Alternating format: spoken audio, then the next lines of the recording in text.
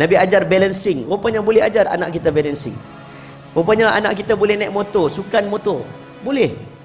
Tak semestinya berkuda. Nabi ajar. Eh? Mawi dalam rumah dia dulu, dia beli snooker tak snooker. Snooker. Sebab dia minat snooker. Dia minat snooker. Tapi snooker ni tuan-tuan, bila sebut snooker, tempat yang tak baik. Betul tak? Dia pun tak berani nak main, dia belilah meja snooker, dia ada duit. Dia nak main kat luar tak boleh, takut orang cakap, oh Mawi main snooker. Apa Syekh main snooker. Jadi dia beli kat rumah. Tiba-tiba, ketika almarhum Tuan Guru ni Abdul Aziz Nikmat pergi melancong ke China, ada satu pendedahan tentang ilmu fokus dan memanah snooker Tok Guru rasmikan snooker dia kata janji snooker itu dalam suasana yang baik sebab dia nampak rupanya ada isu fokus ada fokus ha, sebab masalahnya sekarang bila nampak snooker nampak tempat yang tak baik memang memang kalau kita create uh, tempat yang baik jadi baiklah apa pun sukan bola kalau main baik baiklah jadi kalau main ada niat judi judilah jadi dia betul Futsal tempat baik kalau jadi sama ya. Masjid tempat baik tapi kalau masuk masjid nak curi duit tabung masjid buruk juga. Ha, dia, macam mana kita create keadaan?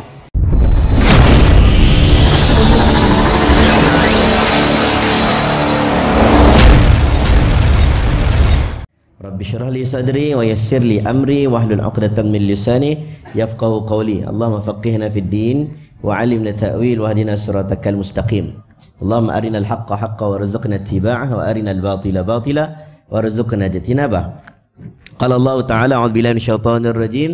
يا أيها الذين آمنوا اتقوا الله حق تقاته ولا تموتن إلا وأنتم مسلمون. صدق الله العظيم yang terima, yang saya muliakan pengurusi majlis Al-Fadhil Ustaz. Ah, seterusnya Tuan Pengurusi Surau Ar-Razi ah, Tuan Imam Ahli Jawatan Kuasa Surau Wakil daripada Persatuan Apa nama tadi? pemanis perwanis ya perwanis laku penganjur bersama. Uh, seterusnya pimpinan-pimpinan masyarakat hadirin hadirat muslimin muslimat yang dirahmati Allah sekalian warga bandar pinggiran Subang. Apa abang semua? Alhamdulillah.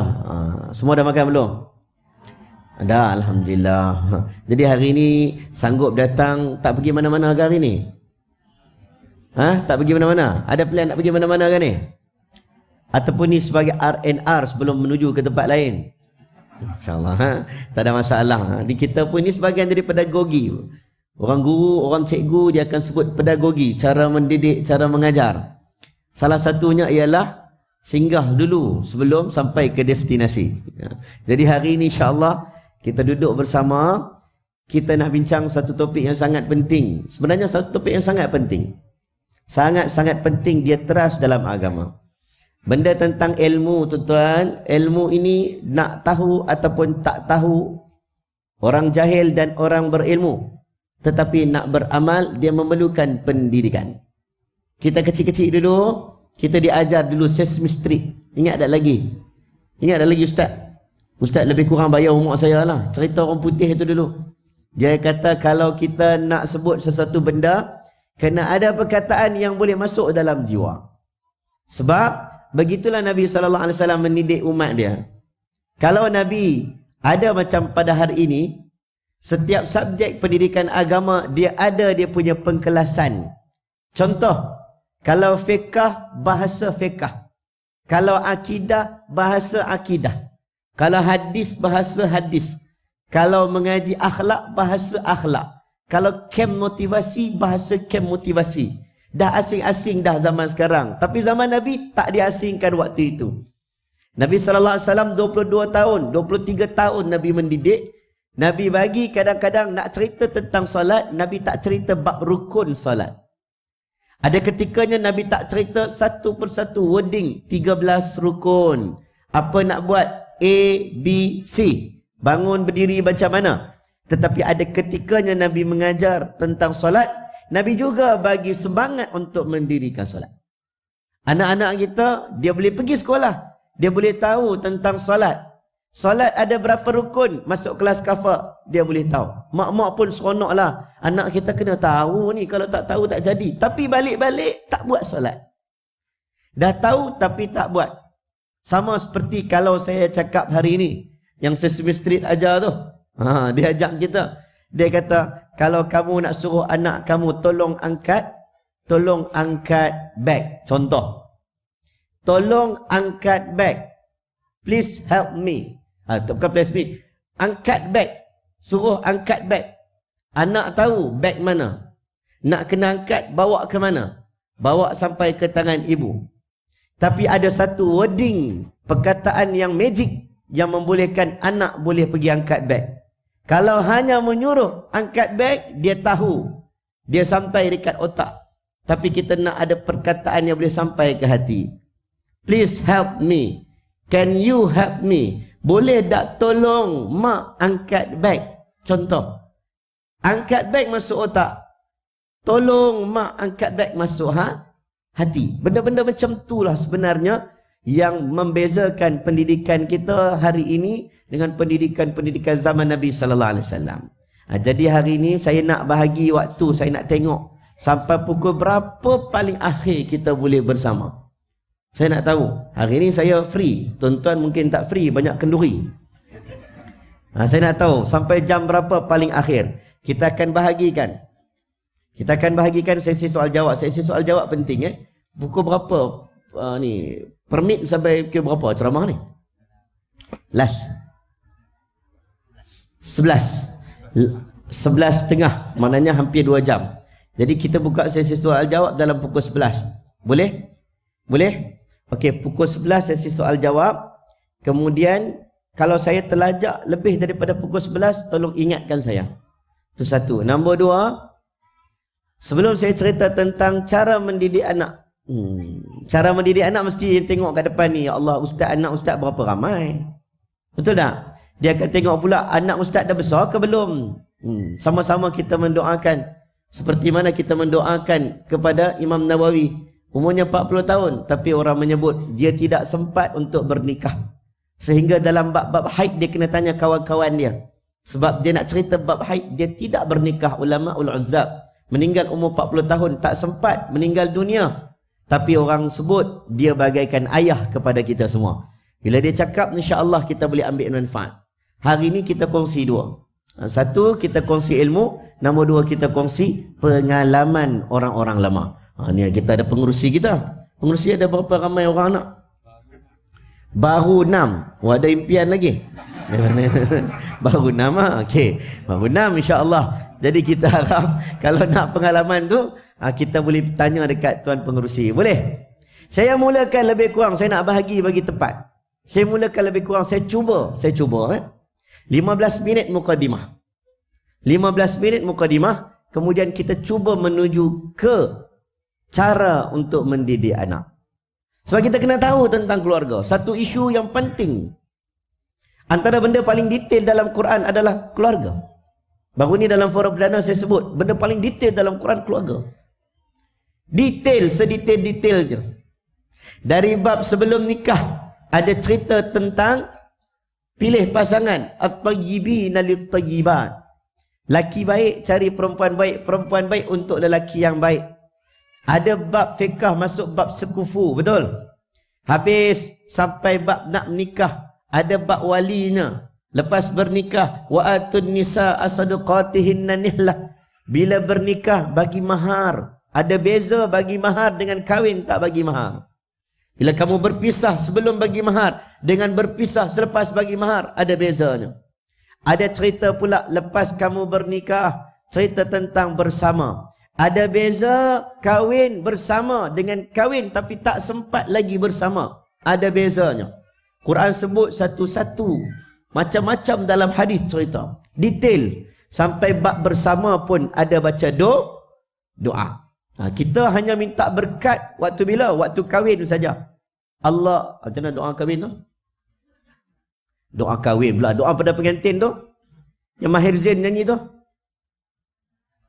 Ah, barakallahu lakuma wa baraka alaikuma wa jama'a bainakuma fil khair.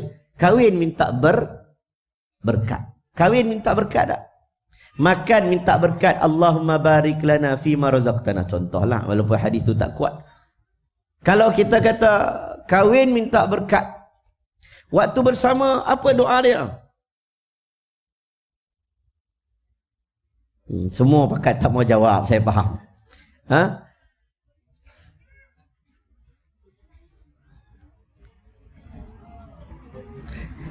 Saya nak cerita saya tengok juga orang kiri kanan depan belakang ni nampak juga ramai anak-anak ni kan. Ha, sebab kadang-kadang ada bab-bab yang mungkin mungkin uh, saya rasa hari ni tak apa kita cakap yang biasa-biasa saja ha? yang biasa-biasa tak begitu mendalam lah ha, kalau begitu mendalam saya kena lukis baru tuan-tuan faham ha? jadi doa nak bersama pun doa kena minta berkat dengan Allah SWT adalah hadis habis lepas bersama duduk dengan anak waktu itu mengandungkan anak. Hamalathu ummuhu wahnan ala wahn. Ada cerita tentang mengandung dalam Quran sebut kemudian dalam Quran sebut lepas dah mengandung melahirkan anak Quran sebut wal walidatu yurdi'na auladahunna haulaini kamilain. Apabila kita keluar lahir anak apa nak kena buat? Suami nak kena buat apa? Quran sebut Quran sebut wa 'alal mauludi lahu rizquhunna wa kiswatuhunna bil ma'ruf la tudarra walidatun biwaladiha wala mauludun lahu biwaladihi waktu isteri kamu melahirkan anaknya Maka suami perlu menjaga rezekinya, menjaga kiswahnya, menjaga pakaiannya. Sebagian ulama kata kiswah bukan macam malabis. Malabis pun baju. Kiswah lebih kepada emosinya, keperluannya. Kepenatan dia melahirkan anak, kamu kena jaga betul-betul. Hari ini orang buat kajian, susu awal ibu. Saya cerita dengan Prof. Muhaya. Prof. Muhaya datang ziarah orang rumah saya. Waktu isteri pertama, isteri pertama pula, anak pertama. Anak pertama. Yalah isteri pertama lah waktu tu kan. Anak pertama lahir. Dia datang hospital. Prof bagi tahu. Ashraf, Ustaz Ashraf kena jaga-jaga. Ni tengah dia baru bersalin kena jaga. Susah awal ibu kena jaga. Negara barat sebahagiannya mewajibkan susu awal ibu. Pentingnya waktu itu tengah menyusu. Waktu itu hormon dia sebutlah estispa tu kan. Saya pun tak tahu fotosintesis ke apa kah. Dia sebut waktu itu hormon tengah dirembeskan. Isteri tengah stres waktu menyusu, waktu awal-awal melahirkan. Akan lahirlah hormon pada anak yang panas baran. Dia sebut satu-satu, kamu kena jaga. Saya kata subhanallah. Dalam Quran sebut. Kamu kena jaga sewaktu dia melahirkan. Kepenatan dia melahirkan. Waktu dalam pantang, kena ada suami yang menjaga dengan baik. Tu cerita tentang keluarga. Habis dah melahirkan. Lepas dah melahirkan, ada sunnah-sunnah selepas kelahiran. Betul? Ada tak sunnah selepas kelahiran? Saya ingat saya boleh berdiri ikut sampai-sampai hari Ahad ni. Ahad kali ni. Ahad. Lupa hari dah. Ha? Sambil-sambil lah. Ha? Kalau hari lain, hari kuliah maghrib, saya tak larat lah nak berdiri. Dah tua dah, orang panggil imam muda. Umur dah 30 lebih dah. Anak dah 3 dah. Tapi tak tahu sampai bila orang panggil imam mu. Imam muda. Boleh? Boleh? Kita recall balik sekejap ni, sekejap ni. Dalam Quran, dalam Quran detail saya sebut tadi. Cerita tentang kelahiran, lepas lahir, lepas dah lahir nak didik anak surah Luqman. Dalam Quran ada surah tentang keluarga, Nisa Sughra, Nisa Kubra, surah Nisa Sughra, Nisa yang kecil, surah An-Nisa, surah perempuan. Surah tentang Nisa Kubra, surah At-Talaq. Ada ceritanya. Dalam Quran ada nama-nama tokoh-tokoh yang besar semua pasal keluarga ya. Satu per tiga Quran cerita. Kebanyakan cerita tentang keluarga. Kebanyakan cerita tentang keluarga. Satu per tiga Quran, keluarga. Kebanyakan cerita tentang keluarga. Dan cerita paling best dalam Quran adalah cerita tentang keluarga. Dalam Quran ada Ashabul Kahfi cerita. Dalam Quran ada Ratu Balqis cerita. Nabi Ibrahim ada. Nabi Ismail ada. Nabi apa lagi? Macam-macam Nabi ada. Betul? Cerita semut ada. Cerita lebah ada. Quran. Cerita, cerita, cerita. Tapi cerita paling best dalam Quran cerita Nabi Yusuf alaihissalam family. Macam mana cemburu family. Bidamin kadhi fa'akalahu dhib. Bawa apa daging darah serigala. Tunjuk dekat darah serigala pula. Darah kononnya dimakan oleh serigala. Bawa baju tunjuk dekat ayah. Drama. Drama. Dia tak bohong ayah dia. Tapi dia. Bukan. Dia tak bunuh terus anak adik dia. Tetapi dia trick ayah dia. Tengok. Cemburu family. Dalam family yang cemburu itu ada seorang suka kepada Yusuf. Bunyamin. Drama. Ayah sampai buta mata. Sampai buta mata bila ayah diberikan semula baju oleh Nabi Yusuf AS bila dia dah jadi menteri. Sampai-sampai dekat ayah mata buta boleh nampak kasih sayang seorang ayah. Drama. Nahnu nakussu alaika ahsanal qasas.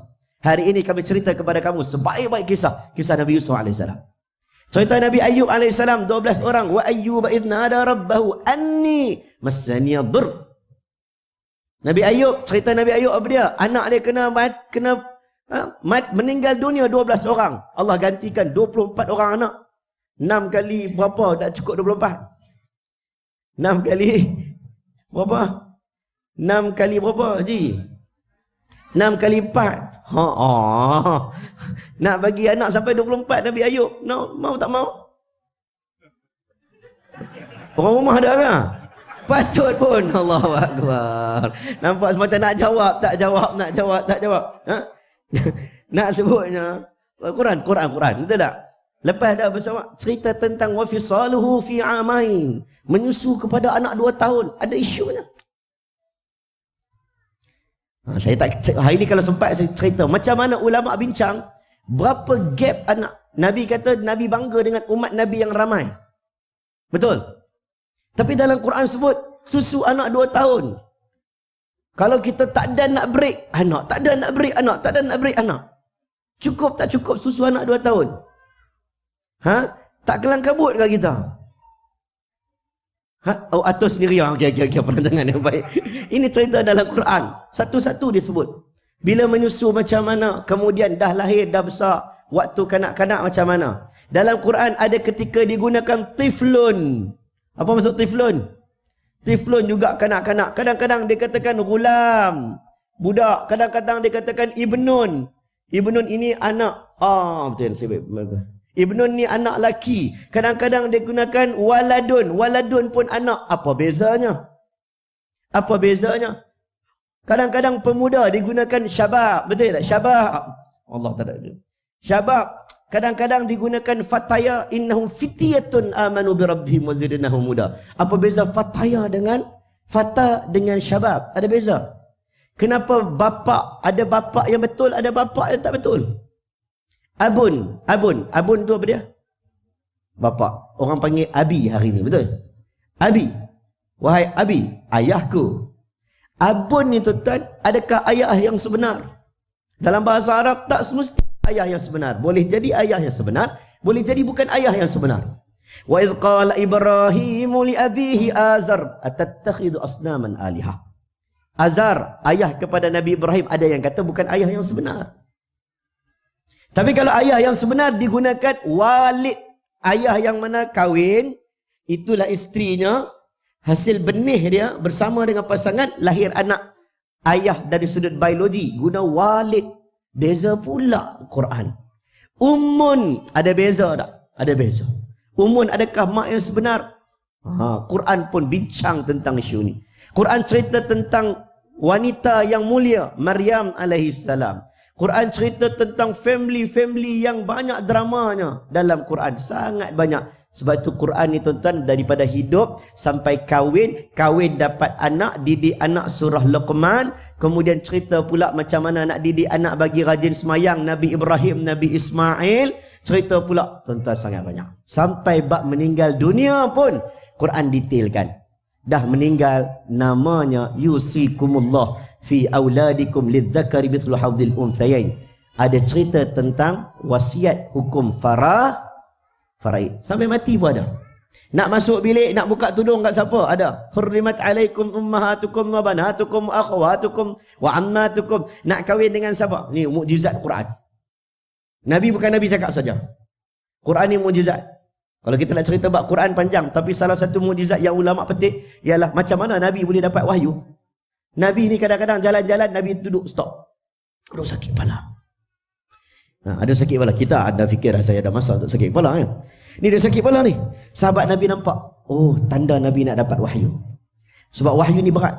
Nabi pernah tidur. Nabi bangun-bangun. Nabi berpeluh dekat dahi Nabi SAW. Oh, Nabi dapat wahyu.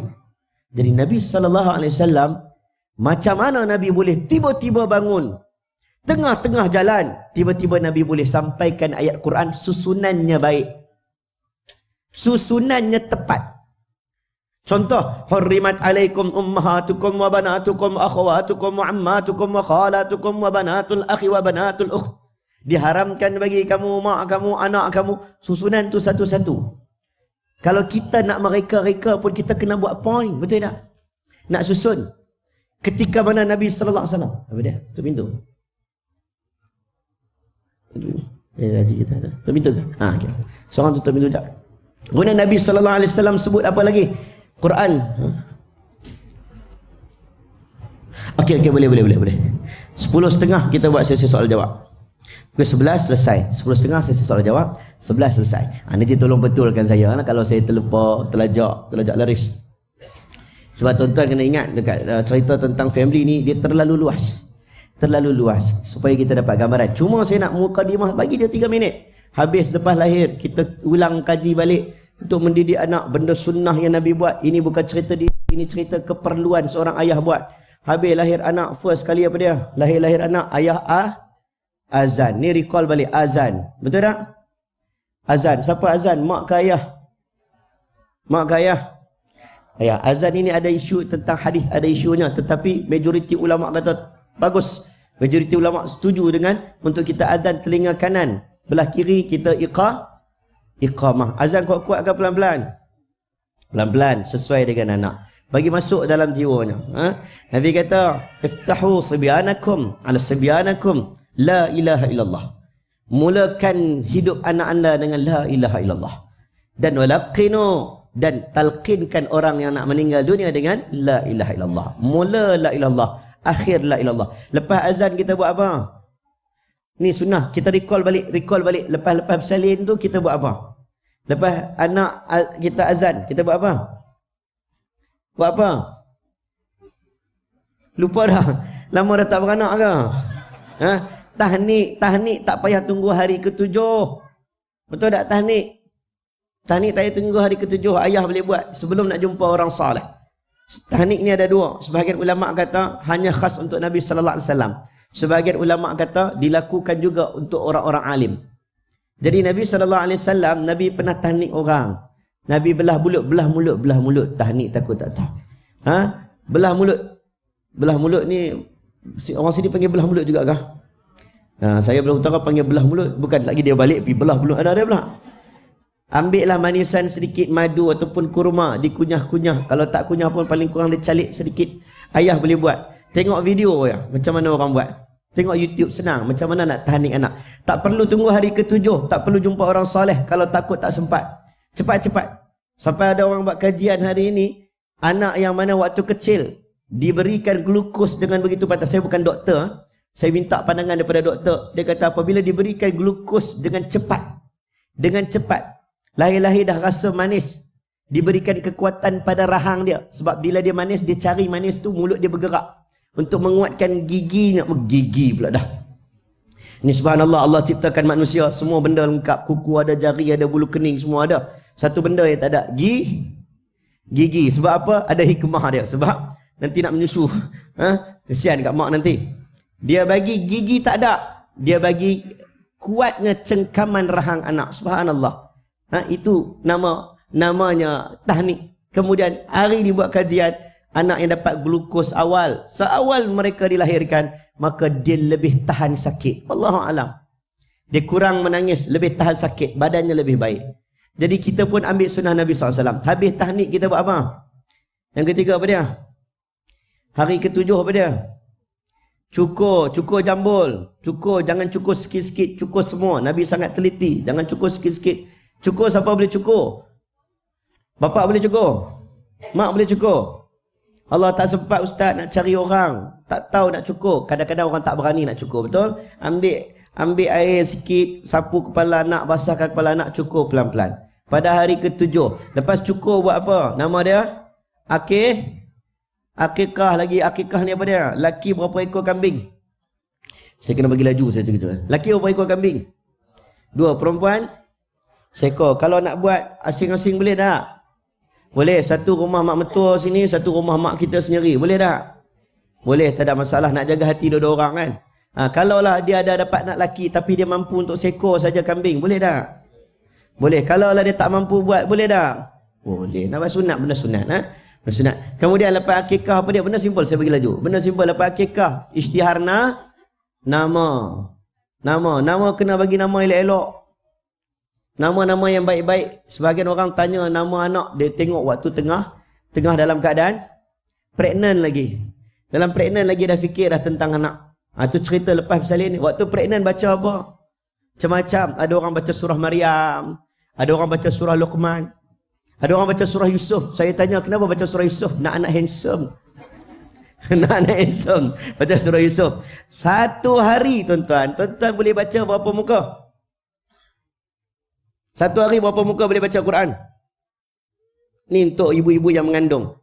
Quran, waktu kita pregnant, jangan baca surah tertentu sahaja. Khatam Quran. Khatam Quran. Boleh? Boleh tak khatam Quran? Quran ada berapa ratus muka surat? Hello, hello. Hello. Berapa ratus muka surat? Enam. Itu enam, dua, tiga, enam ayat. Muka surat enam, kosong, empat. Betul tak?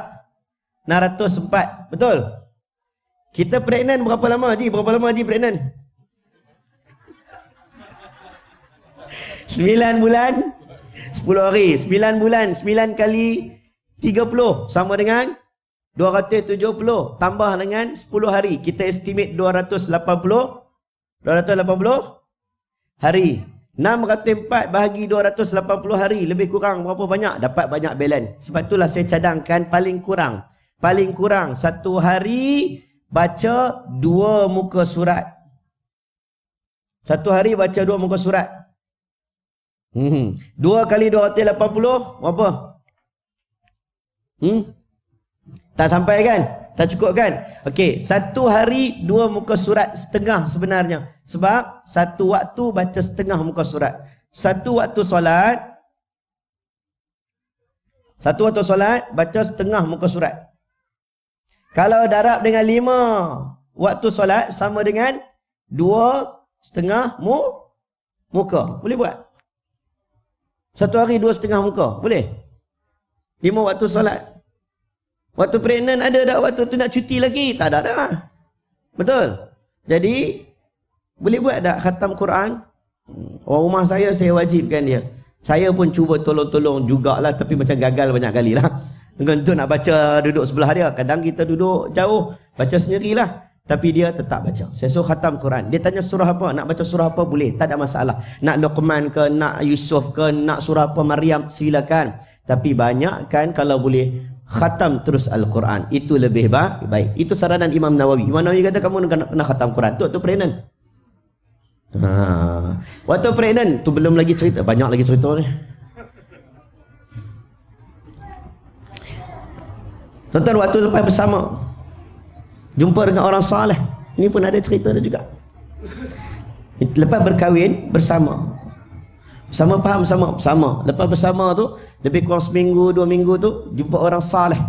Peristiwa ini pernah berlaku kepada seorang wanita namanya Ummu Su Sulaim. Kahwin dengan Telhah. Suami balik, balik-balik suami penat. Anak dia waktu itu sebelum suami keluar musafir, anak tak sihat. Bila suami balik, suami tanya isteri, anak macam mana? Isteri jawab, anak lebih baik daripada sebelum ini. Isteri tak bagi tahu, kata anak dia dah meninggal dunia. Jadi suami balik, suami tak tahu, maka suami bersama dengan isteri. Bila dah bersama dengan isteri, waktu itu barulah bagi tahu abang rasa bersalah. Anak kita dah meninggal dunia.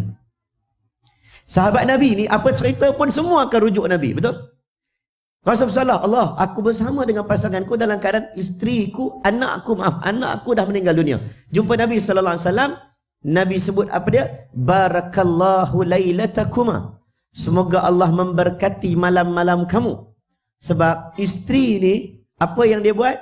Dia sanggup untuk menggembirakan suami dalam keadaan dia sedih dan suami pula balik memang niat dia untuk tengok anak tapi dalam keadaan itu dia memenuhi kehendak isteri sebab musafir jauh Nabi kata barakallahu lailatakuma. Allah memberkati malam-malam kamu. Berkat doa Nabi kepada orang yang baru bernikah, baru lepas bersama, Nabi doa, akhirnya lahirlah anak Ummu Salam. Sebagai riwayat kata hampir sembilan orang anak semuanya hafizul Quran. Ha, tu berkat tu. Ha, jumpa-jumpa orang salih. Tu, tu, tu, tempoh-tempoh. Ni, ni, ni, semua. Ni bukan cara didik. Ni benda yang kalau boleh tu kita buat. Cara mendidik lain.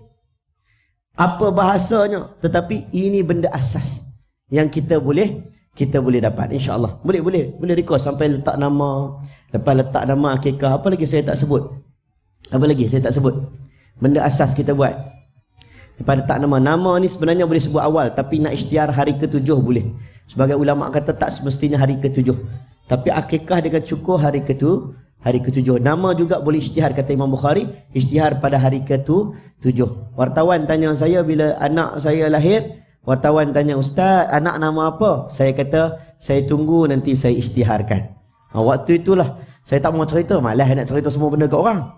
Ha, dekat wartawan ni. Tiba-tiba, dia keluar dalam paper Imam Muda Ashraf akan isytihar nama anak hari ketujuh. Yang tu pun jadi topik. Dia letak nama. Ha, hari ketujuh dia tanya, kita pun letak nama waktu itu. Ha, contohnya anak saya, saya letak Ash, Ash Raihan, anak pertama. Anak kedua, Ash Abdul Rahman. Anak ketiga, nama dia Setiaku Asyah. Letak nama bahasa Melayu. Mak saya marah. Kenapa letak bahasa Melayu? Apa maksud setia? Setia adalah setia lah. Macam mana orang dulu namanya bujang, putih, hitam, melati, melo. Ha? Kenapa? Saja. Saya tanya dekat, memang mufti. Harus, benda tu harus. Kata untuk ceritakan tentang keharusan. Kadang-kadang orang suka tanya, saya nak tunjuk keharusan. Boleh tak? Boleh. Oki Setiana Dewi, kenal? Ha, setia lah tu. ha? Wafiyun, ha, boleh sebut bahasa Arab, tak ada masalah. Baik, bab ni. Kita nak masuk bab yang berikutnya bab didik anak. Ada satu buku yang bagus. Saya mengajar kuliah subuh dekat uh, area rumah saya. Buku ni dah ada terjemahan Atfalul Muslimin Kaifa Rabbahumun Nabiyul Amin. Syekh Jamal Abdul Rahman. Dulu kita baca Tarbiyatul Aulad. Dulu. Dan Tarbiyatul Aulad sangat bagus. Abdullah Nasih Uluan. Beli buku. Beli beli buku. Macam mana nak didik anak? Sebab kadang kita ingat kita betul, rupanya dah berbeza. Zaman berbeza, cara didik pun berbeza. Saya boleh sebut apa yang mak kita buat dekat kita dulu, ro, rotan. Betul? Rotan. Salah tak rotan? Rotan tak salah. Tapi ada ketikanya mungkin ada waktu hari ini, mungkin bukan rotan lagi. Tapi ada tindakan lain. Sebab perkataan doraba, Daraba ini boleh bermaksud pukul, boleh juga bermaksud hukuman. Apabila Quran ulama bincang kenapa wanita yang berzina lelaki yang berzina. Az-zaniyatu waz-zani fajlidu kulla wahidin minhumma mi'ata jaldah. Sebahagian kata zaman dulu rotan, zaman hari ini boleh ubah, bukan rotan lagi. Tapi Quran tak boleh ubah sebab dia tak sebut daraba. Pukul, Bahasa guna bahasa Arab tuan-tuan. Bahasa Arab ni vocabulary paling banyak dalam dunia. Dia sebut sikit dah beza dah. Sebut sikit dah beza dah. Macam kita ni kuliah duha. Apa maksud duha? Apa maksud syuruk? Syuruk, syuruk, isyraq. Kita semuanya syuruk dah tadi? Syuruk apa dia? Terbit matahari. Matahari terbit sedikit dipanggil syuruk. Syuruk. Matahari terbit banyak, nampak clear matahari. Orang dulu sebut sepenggalah dipanggil Duha lah. Ni duha. Matahari pacak atas kepala. Apa dia? Nak zawal, nak tergelincirnya matahari. Orang Melayu panggil apa? Rembang. Kena panggil rembang. Matahari nak terbenam. Ghurub. Oh, tu dia. Kita bahasa Melayu, matahari terbit sikit panggil apa? Ha? Matahari terbit sedikit. Ha? Matahari banyak sikit terbit, matahari terbit banyak sedikit. ha, macam saya selalu buat contoh-contoh kurma lah kurma. Kurma basah bahasa Arab panggil kurma apa dia? Ru, rutab. Nabi kata kalau buka puasa, buka puasa dengan rutab, kurma muda yang basah. Kalau tak ada kurma yang basah, makanlah kurma kering. Nabi tak sebut kurma kering, Nabi kata ta, tamar. Tadi rutab ni tamar. Ha. Bahasa Melayu kurma basah panggil apa? Kurma. Kurma kering panggil apa? Kurma. Kurma juga. Tu tak kira kurma kambing, kurma ayam, kurma daging. Betul tak? Ha. Bahasa wording, wording. Wording wa kadzalika ja'alna Qur'anan Arabiyya. Bila Quran sebut dalam bahasa Arab ada sebab. Sampai hari ini kenapa tak boleh kena rotan juga sebab dalam Quran tak sebut pukul. Dia kata fajlidu. Ha, fajlidu itu bermaksud rotan. Jadi ulama bincang bila Nabi menyebut muru auladahum muru auladahum bis salat wa hum abna'u sab'a sinin. Suruhlah anak kamu solat umur tujuh tahun wadribuhum inda asyar dan pukulnya ketika umur sepuluh tahun.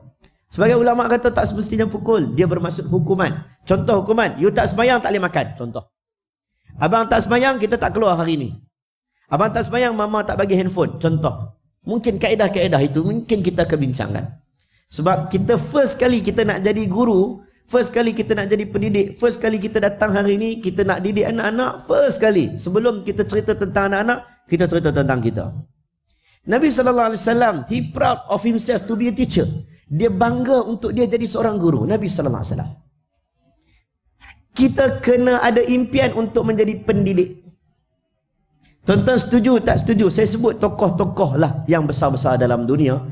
Dia mestilah sekali nak cerita tentang pendidikan. Dia baru akan tahu pentingnya pendidikan. Jack Ma. Kena Jack Ma. Alibaba. Dia dah tinggalkan Alibaba. Bagi kepada pengganti. Dia nak kembali kepada pendidikan. Mendidik. Tuan-tuan suka tak suka? Setuju tak setuju? Tuan Dr. Mahathir. Waktu dia dah berhenti jadi menteri. Menteri besar pula dah. Perdana Menteri. Sebelum dia jadi Perdana Menteri, orang tanya dia, Tun, kamu kalau dapat jadi Perdana Menteri sekali lagi, nak jadi apa? Dia kata, aku ingin menjadi Menteri Pendidikan. Sebab tu bila dia jadi Menteri Perdana Menteri, ada kan clash dulu, mula-mula dulu. Dia nak jadi Menteri Pendidikan. Sebab pendidikan ni penting. Tuan-tuan, Abuya Ash'ari contoh. Abuya, Abuya. Setuju tak setuju dengan dia? Saya pun banyak benda tak setuju. Tapi, apa dia buat first kali? Sungai Pencala. Sungai Pencala first kali apa dia? Sekolah. Pendidikan.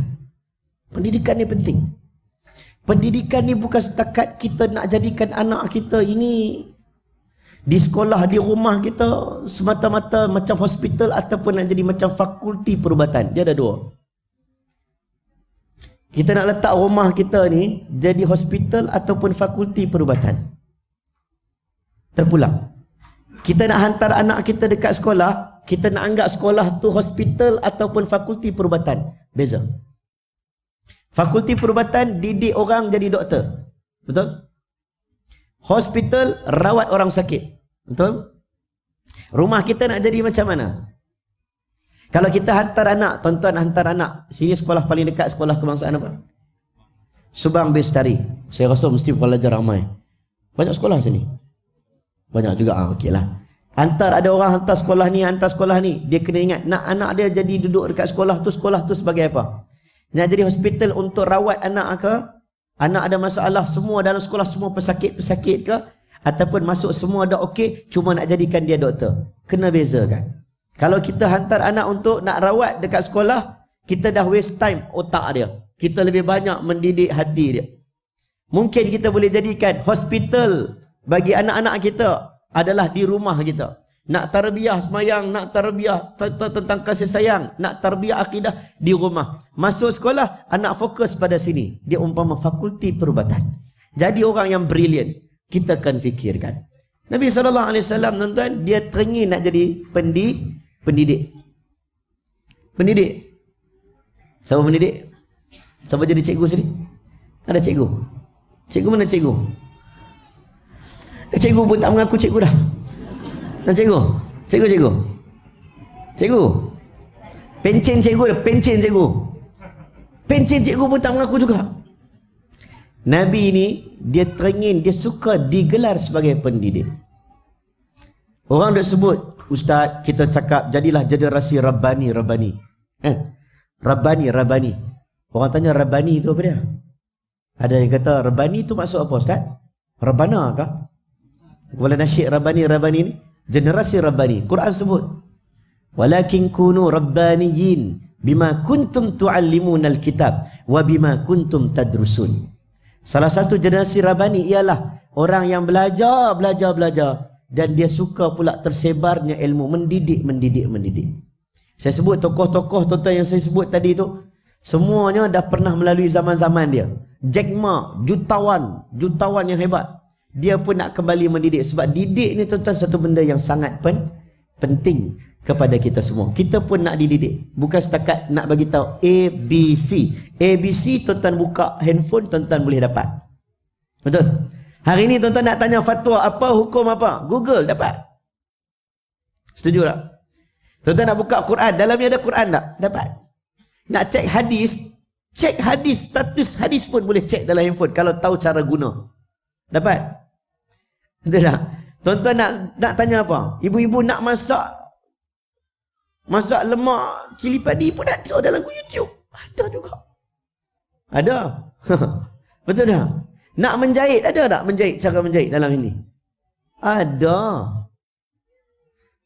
Fatwa-fatwa banyak dalam ni. Tapi kita datang hari ni tuan-tuan datang. Tuan-tuan susah payah. Tuan-tuan tinggalkan kerja di rumah. Tuan-tuan luangkan waktu datang ke sini. Tuan-tuan datang bukan semata-mata untuk ilmu. Kalau semata-mata untuk ilmu, agak sukar untuk kita ini nak berubah. Kita datang niat pasti kena ada niat untuk berubah.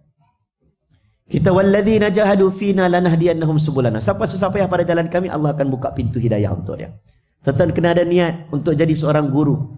Bila jadi seorang guru, barulah kita boleh cerita.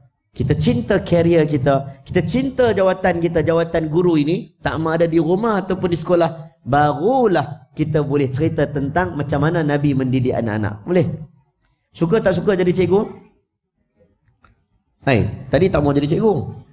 Suka tak suka jadi cikgu? Suka. Okey, baik. Ha?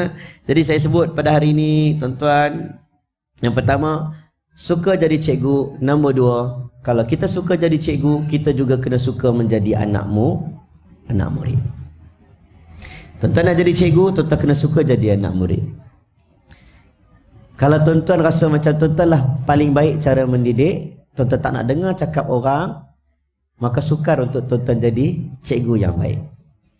Saya belajar tak? Saya belajar. Saya muda, saya nak cakap buat parenting ni bukan senang. Orang akan tengok anak ustaz umur berapa dah. Betul? Bukan senang. Tapi banyak kursus kita buat, kita kena cerita benda yang kita dapat, kita share. Ibu ayah kita tak ada ilmu sangat. Mereka bukan tak ada ilmu, tak pandai. Mereka tak ada duit, kadang tak boleh sambung belajar zaman dulu. Tapi mereka ada tajribah pengalaman. Betul? Dia cakap, abang, abang nak ceramah eh? Cakap elok-elok abang, dia kata. Jangan cakap lebih kurang. Ada orang dulu nakal. Hari ni jadi baik. Jaga-jaga bang. Jangan ingat orang tak boleh jadi baik. Oh, dia pesan. Abang nak cakap dengan orang. Kalau nak cakap bab anak. Jangan cakap depan orang yang kahwin tak dapat-dapat anak. Jaga-jaga. Kalau nak cakap bab jodoh. Jangan cakap kepada orang yang belum dapat jodoh. Cakap boleh. Tapi cara cakap kena betul. Bang, kalau orang tengah timpa, ditimpa kemiskinan, ditimpa kesusahan. Abang jangan duk cerita tentang kelebihan menjadi kaya. Dia stres.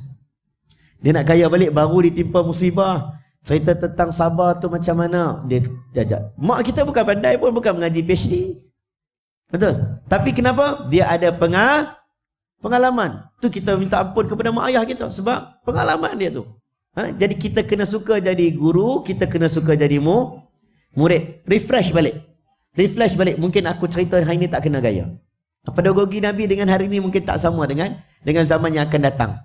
Saya ceramah dulu 2010. Saya jadi imam muda. 2010, 2011, 2012 sampai 2015 ceramah dekat student. Ceramah kat student saya seronok. Ceramah kat budak sekolah rendah saya boleh. Boleh lagi. Adik-adik, go go go go. Adik pun angkat. Angkat tangan kanan, angkat tangan kiri. Makcik-makcik akan tengok. Apa ustaz ubat daripada mana? Tapi kat sekolah boleh buat. Sekarang ni tuan-tuan, dok niaga, dok pergi sini, dah umur 35 anak dah makin ni. Kita buat lawak budak-budak blur tengok. Nampak gaya aku dah tua. Kita rasa kita boleh bagi lagi semangat orang muda, rupanya mungkin usia. Kita masuk universiti dulu, kita cakap ya budak universiti boleh gelak. Sekarang kita cakap, pensyarah yang gelak. Budak universiti tak gelak. Maksudnya, oh, lawak aku dah tak sampai, aku dah umur-umur orang tua. Tentang kita kita tak sedar. Kita rasa kita okey, sedangkan kita akan diperbaiki. Kalau kita tak ubah, orang lain akan ubah. Betul? Jadi hari ini kita nak berubah jadi guru yang baik. Kemudian, bila kita tak suka jadi cikgu, suka jadi murid, kita juga perlu suka anak-anak kita untuk jadi cikgu dan jadi murid.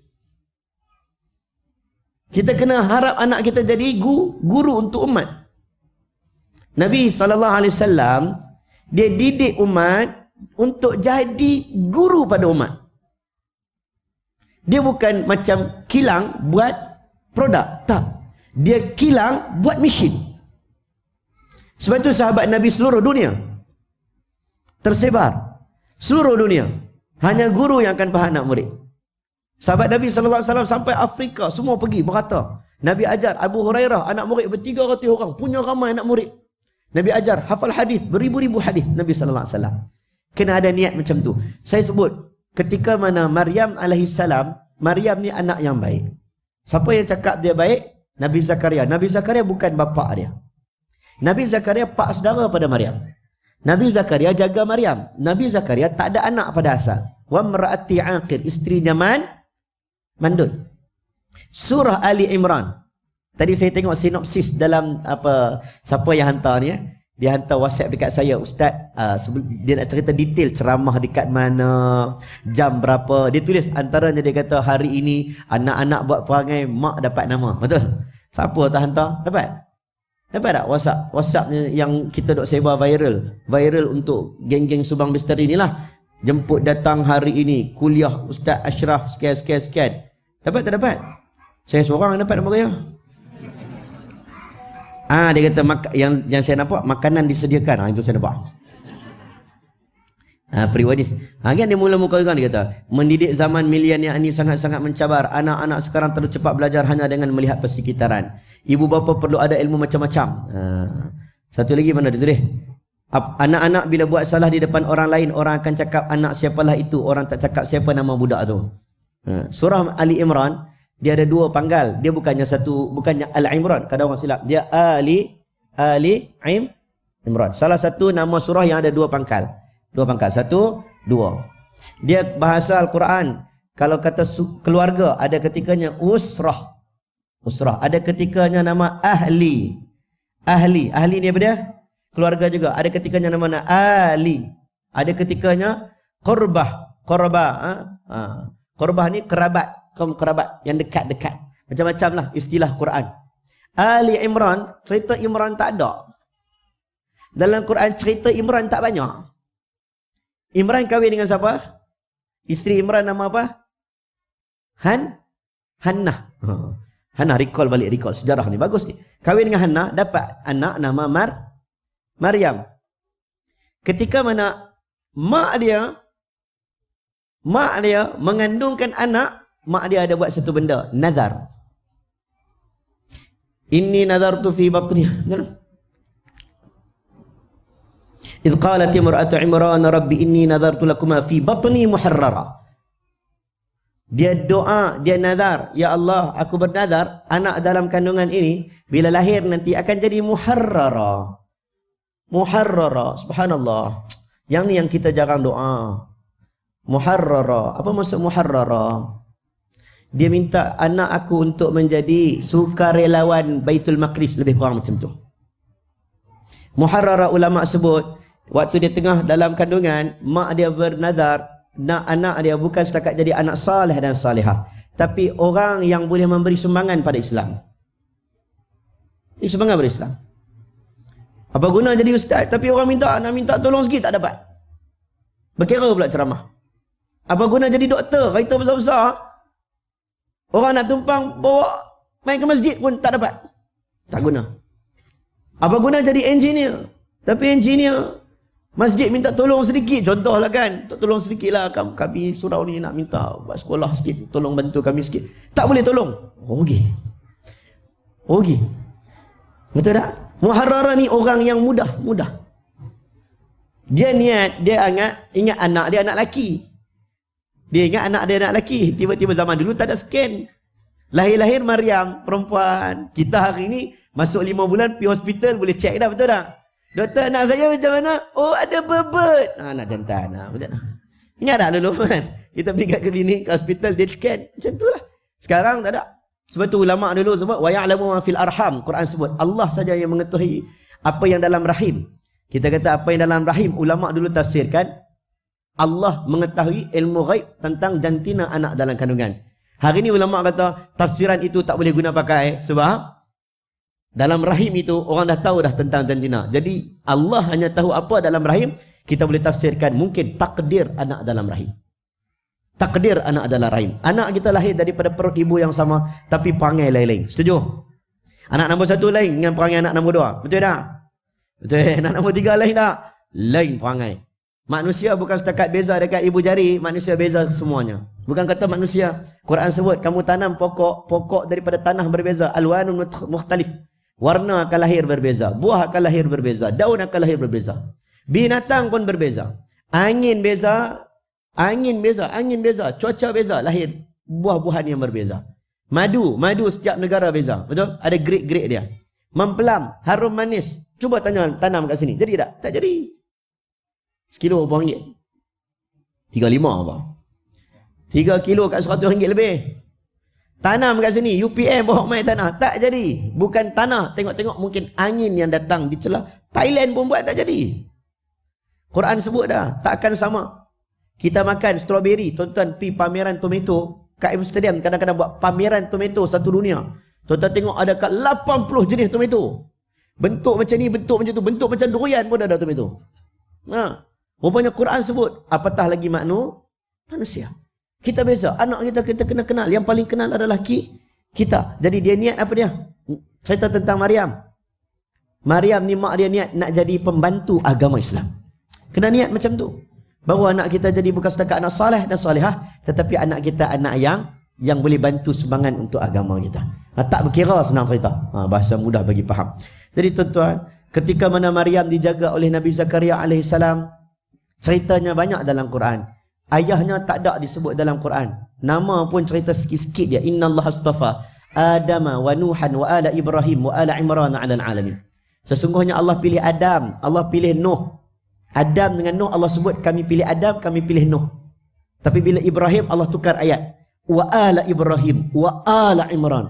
Kami pilih keluarga Ibrahim, kami pilih keluarga Im Imran. Adam, Allah sebut Adam saja. Keluarga tak sebut. Adam ada problem tak dalam keluarga dia? Ada tak problem pasal anak dia? Korban tu?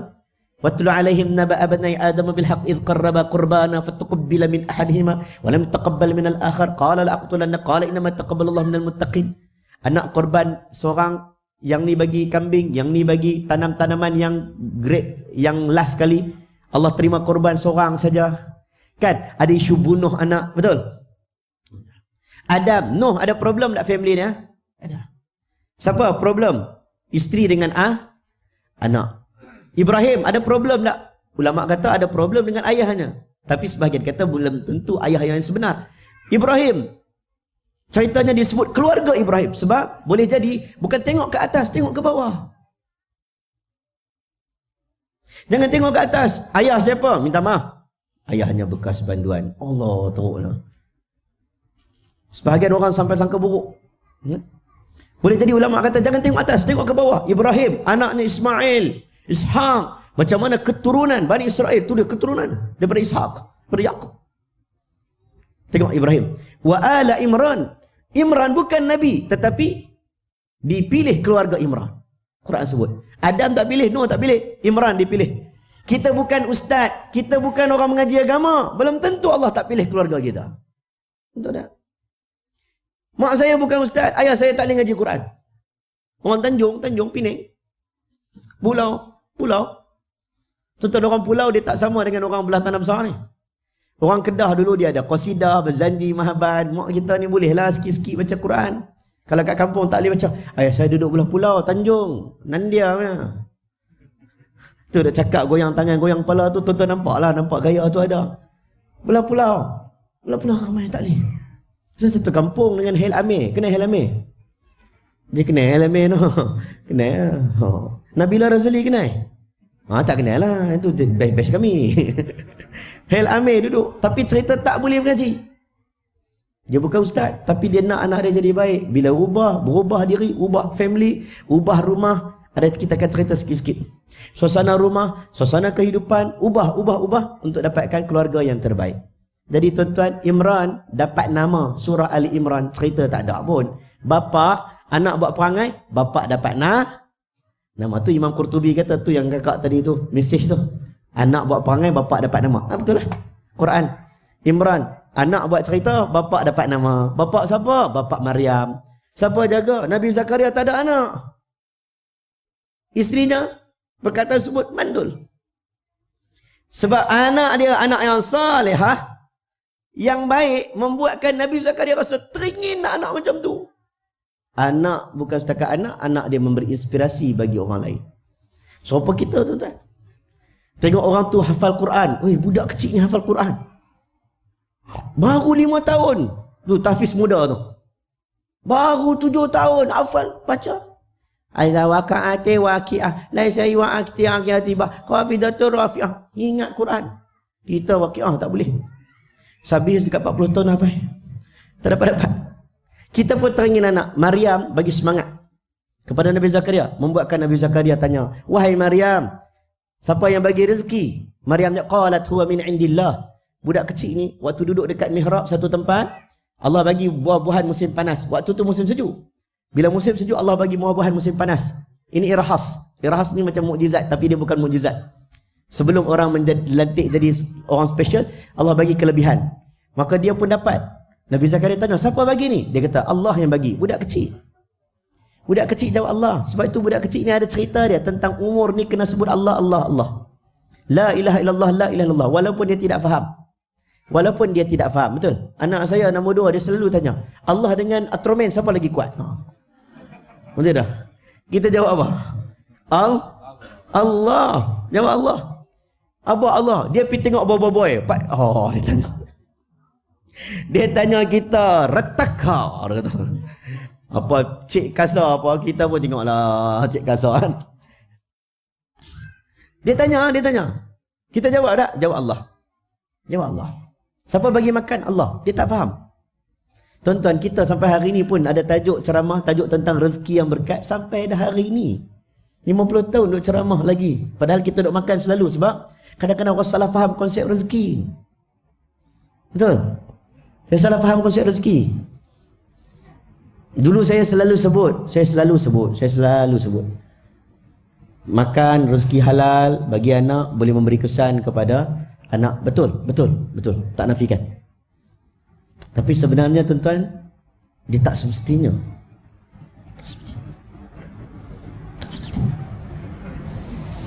Makan rezeki yang baik, suap dalam mulut anak, Ibnu Mubarak. Ibnu Mubarak ayah dia ada ladang apple. Ladang apple. Tak makan langsung berpuluh tahun kerja. Sampai jamu orang datang tetamu datang bos suruh jamu.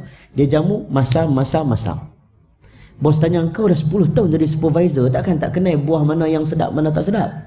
Dia cakap aku kerja sini 10 tahun hanya tahu buah grade A grade B grade C.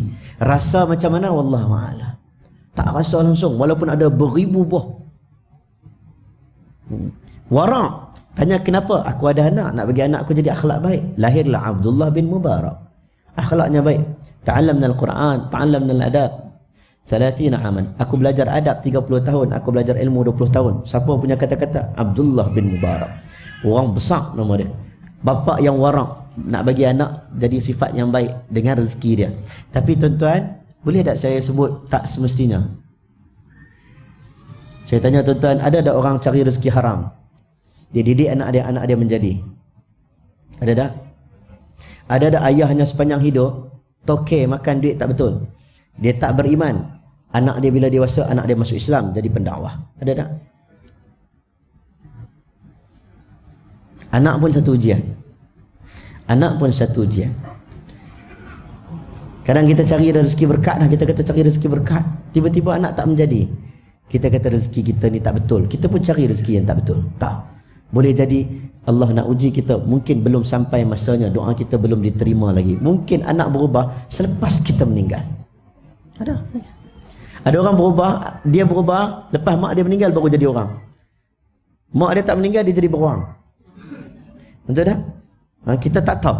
Jadi uh, itu itu cerita lain saya akan kupas. Cuma hari ini saya sebut tentang apa yang tadi permulaan tadi kita sebut kena suka jadi cikgu, kena suka anak murid jadi anak murid, kena suka sesi pembelajaran. Dalam sekolah kalau kita ceramah dekat sekolah, anak-anak murid ni kadang-kadang kita datang bangun saya cakap, contohlah tuan-tuan. Saya datang, saya cakap kat anak murid, okey, ustaz nak tanya soalan. Ustaz nak tanya soalan, semua anak murid akan buat. Macam kita lah betul kan, semua macam oh, buat-buat semua. Tak mau tengok atas. Betul? Kalau saya pilih murid A, anda jawab soalan, Mesti, okey. Hasif. Oh, contoh Hasif pula dah. Hasif. Bangun berdiri jawab soalan. Mesti dalam hati dia apa dia? Dia suka saya ke dia tak suka saya? Mesti dah latih celaka ustaz ni aku. Mesti macam-macam tapi dia tak cakap lah. Tak, ya ustaz. Saya nak tanya soalan ni. Bila saya tanya, saya panggil dia berdiri. Dia kena tanya. Saya kata ada satu soalan saja saya nak tanya. Dia seorang berdiri. Baki yang lain, dia suka tak saya? Sebab saya tak pilih dia. Suka betul tak? Oh, ustaz, oh, ustaz terbaik. Dia, dia, dia, dia, dia, dia. Dia yang kena jawab soalan paling, dia orang paling benci saya waktu itu. Yang keliling semua orang yang sangat sayang saya. Betul tak?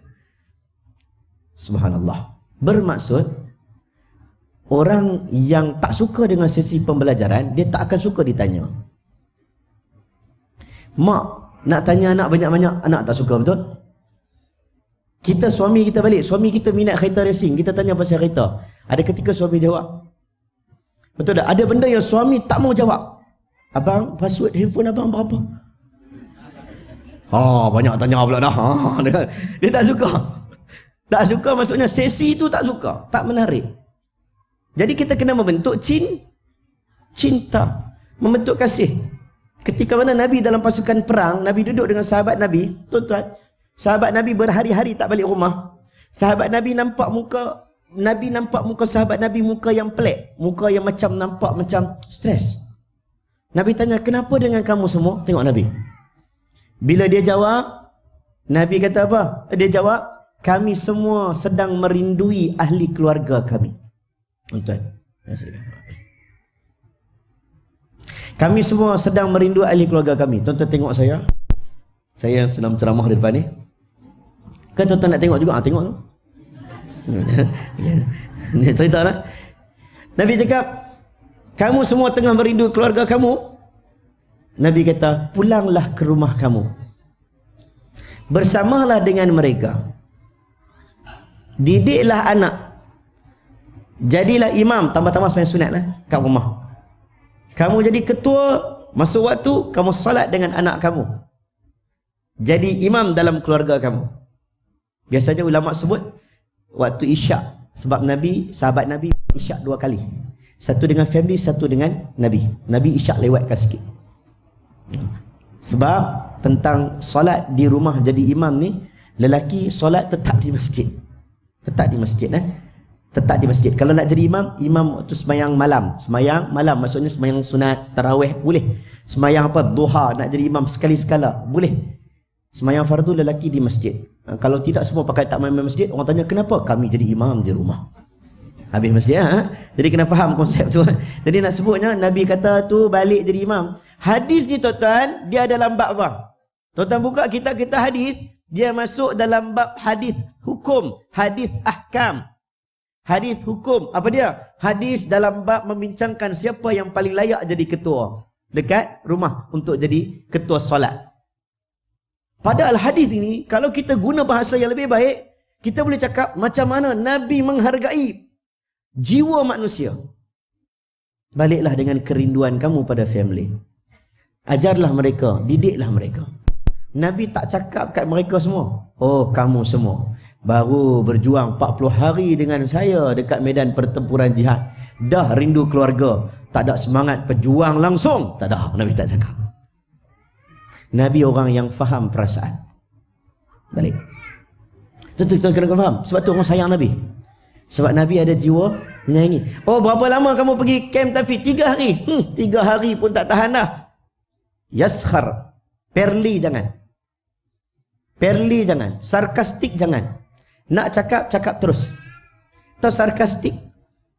Sarkastik satu didikan yang tak bagus. Contoh, mak nak duit. Oh ingat bapak kamu keluar malam balik petang ni. Bapak kamu cop duit. Itu sarkastik. Sarkastik. Ha. Ha elok lah. Tak datang masjid. Tak apa. Tak datang pun tak apa. Nanti mati kubur sendiri. Sarkastik tak bagus Ustaz. Sarkastik tak bagus. Didik anak tak bagus. Cakap terus terang. Haji, datang Haji. Nanti kalau kita meninggal, insya-Allah orang yang kita duduk satu sah itu juga akan tolong kita. Direct. Nak duit ayah kamu hari ini duit tak cukup. Ada untuk adik kamu. Berapa persen untuk mak kamu? Berapa lagi nak bagi untuk family kamu? Abang sabar sekejap. Direct. Ada cara-cara. Ini, ini kita tengok cara-cara yang Nabi ajar. Baik tuan-tuan. Okay, 10 setengah dah. Saya tak masuk lagi bab saya ni. Saya sebut sikit tentang suka anak murid rasa disayangi, suka jawab soalan, suka respon. Kita dalam sekolah, bila orang suka respon, kita kata diam. Jangan, jangan cakap diam. Muhammad Abduh. Muhammad Abduh ni kontroversi lah. Syekh Muhammad Abduh di Mesir. Dia punya tak mau duduk sekolah agama tu tu. Tak mau. Tapi dia cerdik. Dalam kelas dia top, hafal Quran, hafal hadis, top. Dia rasa macam dia duduk di Mesir tak boleh membangunkan minda dia waktu tu. Dia minta nak mengaji dekat France sampai kat luar negara. Waktu itu dia minta gurunya, ayahnya pendidik yang hebat. Orang selalu nampak tokoh, orang tak tengok siapa family, siapa di belakang tabir. Orang sebut Dr. Qardawi, Dr. Qardawi, hebat Dr. Dr. Qardawi. Orang tak kenal siapa di belakang tabir, ibu tunggal. Dia kata kalau aku cerita tentang mak aku akan sebut tentang doa mak aku saat saat dia meninggal dunia. Mak aku doa apa bila aku duduk tepi telinga dia? Mak aku doa, ya Allah, kurniakan kepada uh, anak aku ini, Yusuf ini dicintai oleh makhluk sekeliling. Dia kata aku dapat jumpa orang beribu-ribu orang, orang jumpa aku orang tersebut ini uhibbuka ya Syekh. Aku cintakan kau ya Syekh. Berkat doa mak. Dia orang lupa tentang siapa di belakang tabir. Muhammad Abdul ayahnya waktu tu ayah dia tahu dia ni memang seorang yang kritis. Kritis bermaksud bukan dia ikut saja, pergi-pergi sekolah-sekolah. Tapi anak dia jenis ayah, saya rasa saya tak sesuai. Saya rasa saya boleh maju ke depan lagi. Akhirnya ayah dia buat satu keputusan membenarkan kritis itu diterima tapi ada syarat. Ayahnya kata, bagi cukup setahun, bagi habis pembelajaran agama ini, ilmu asas ni, ayah akan bawa pindah sekolah lain. Bagi juga tapi dengan syarat. Dengan dengan syarat. Ini cara-cara pendidikan yang berlaku.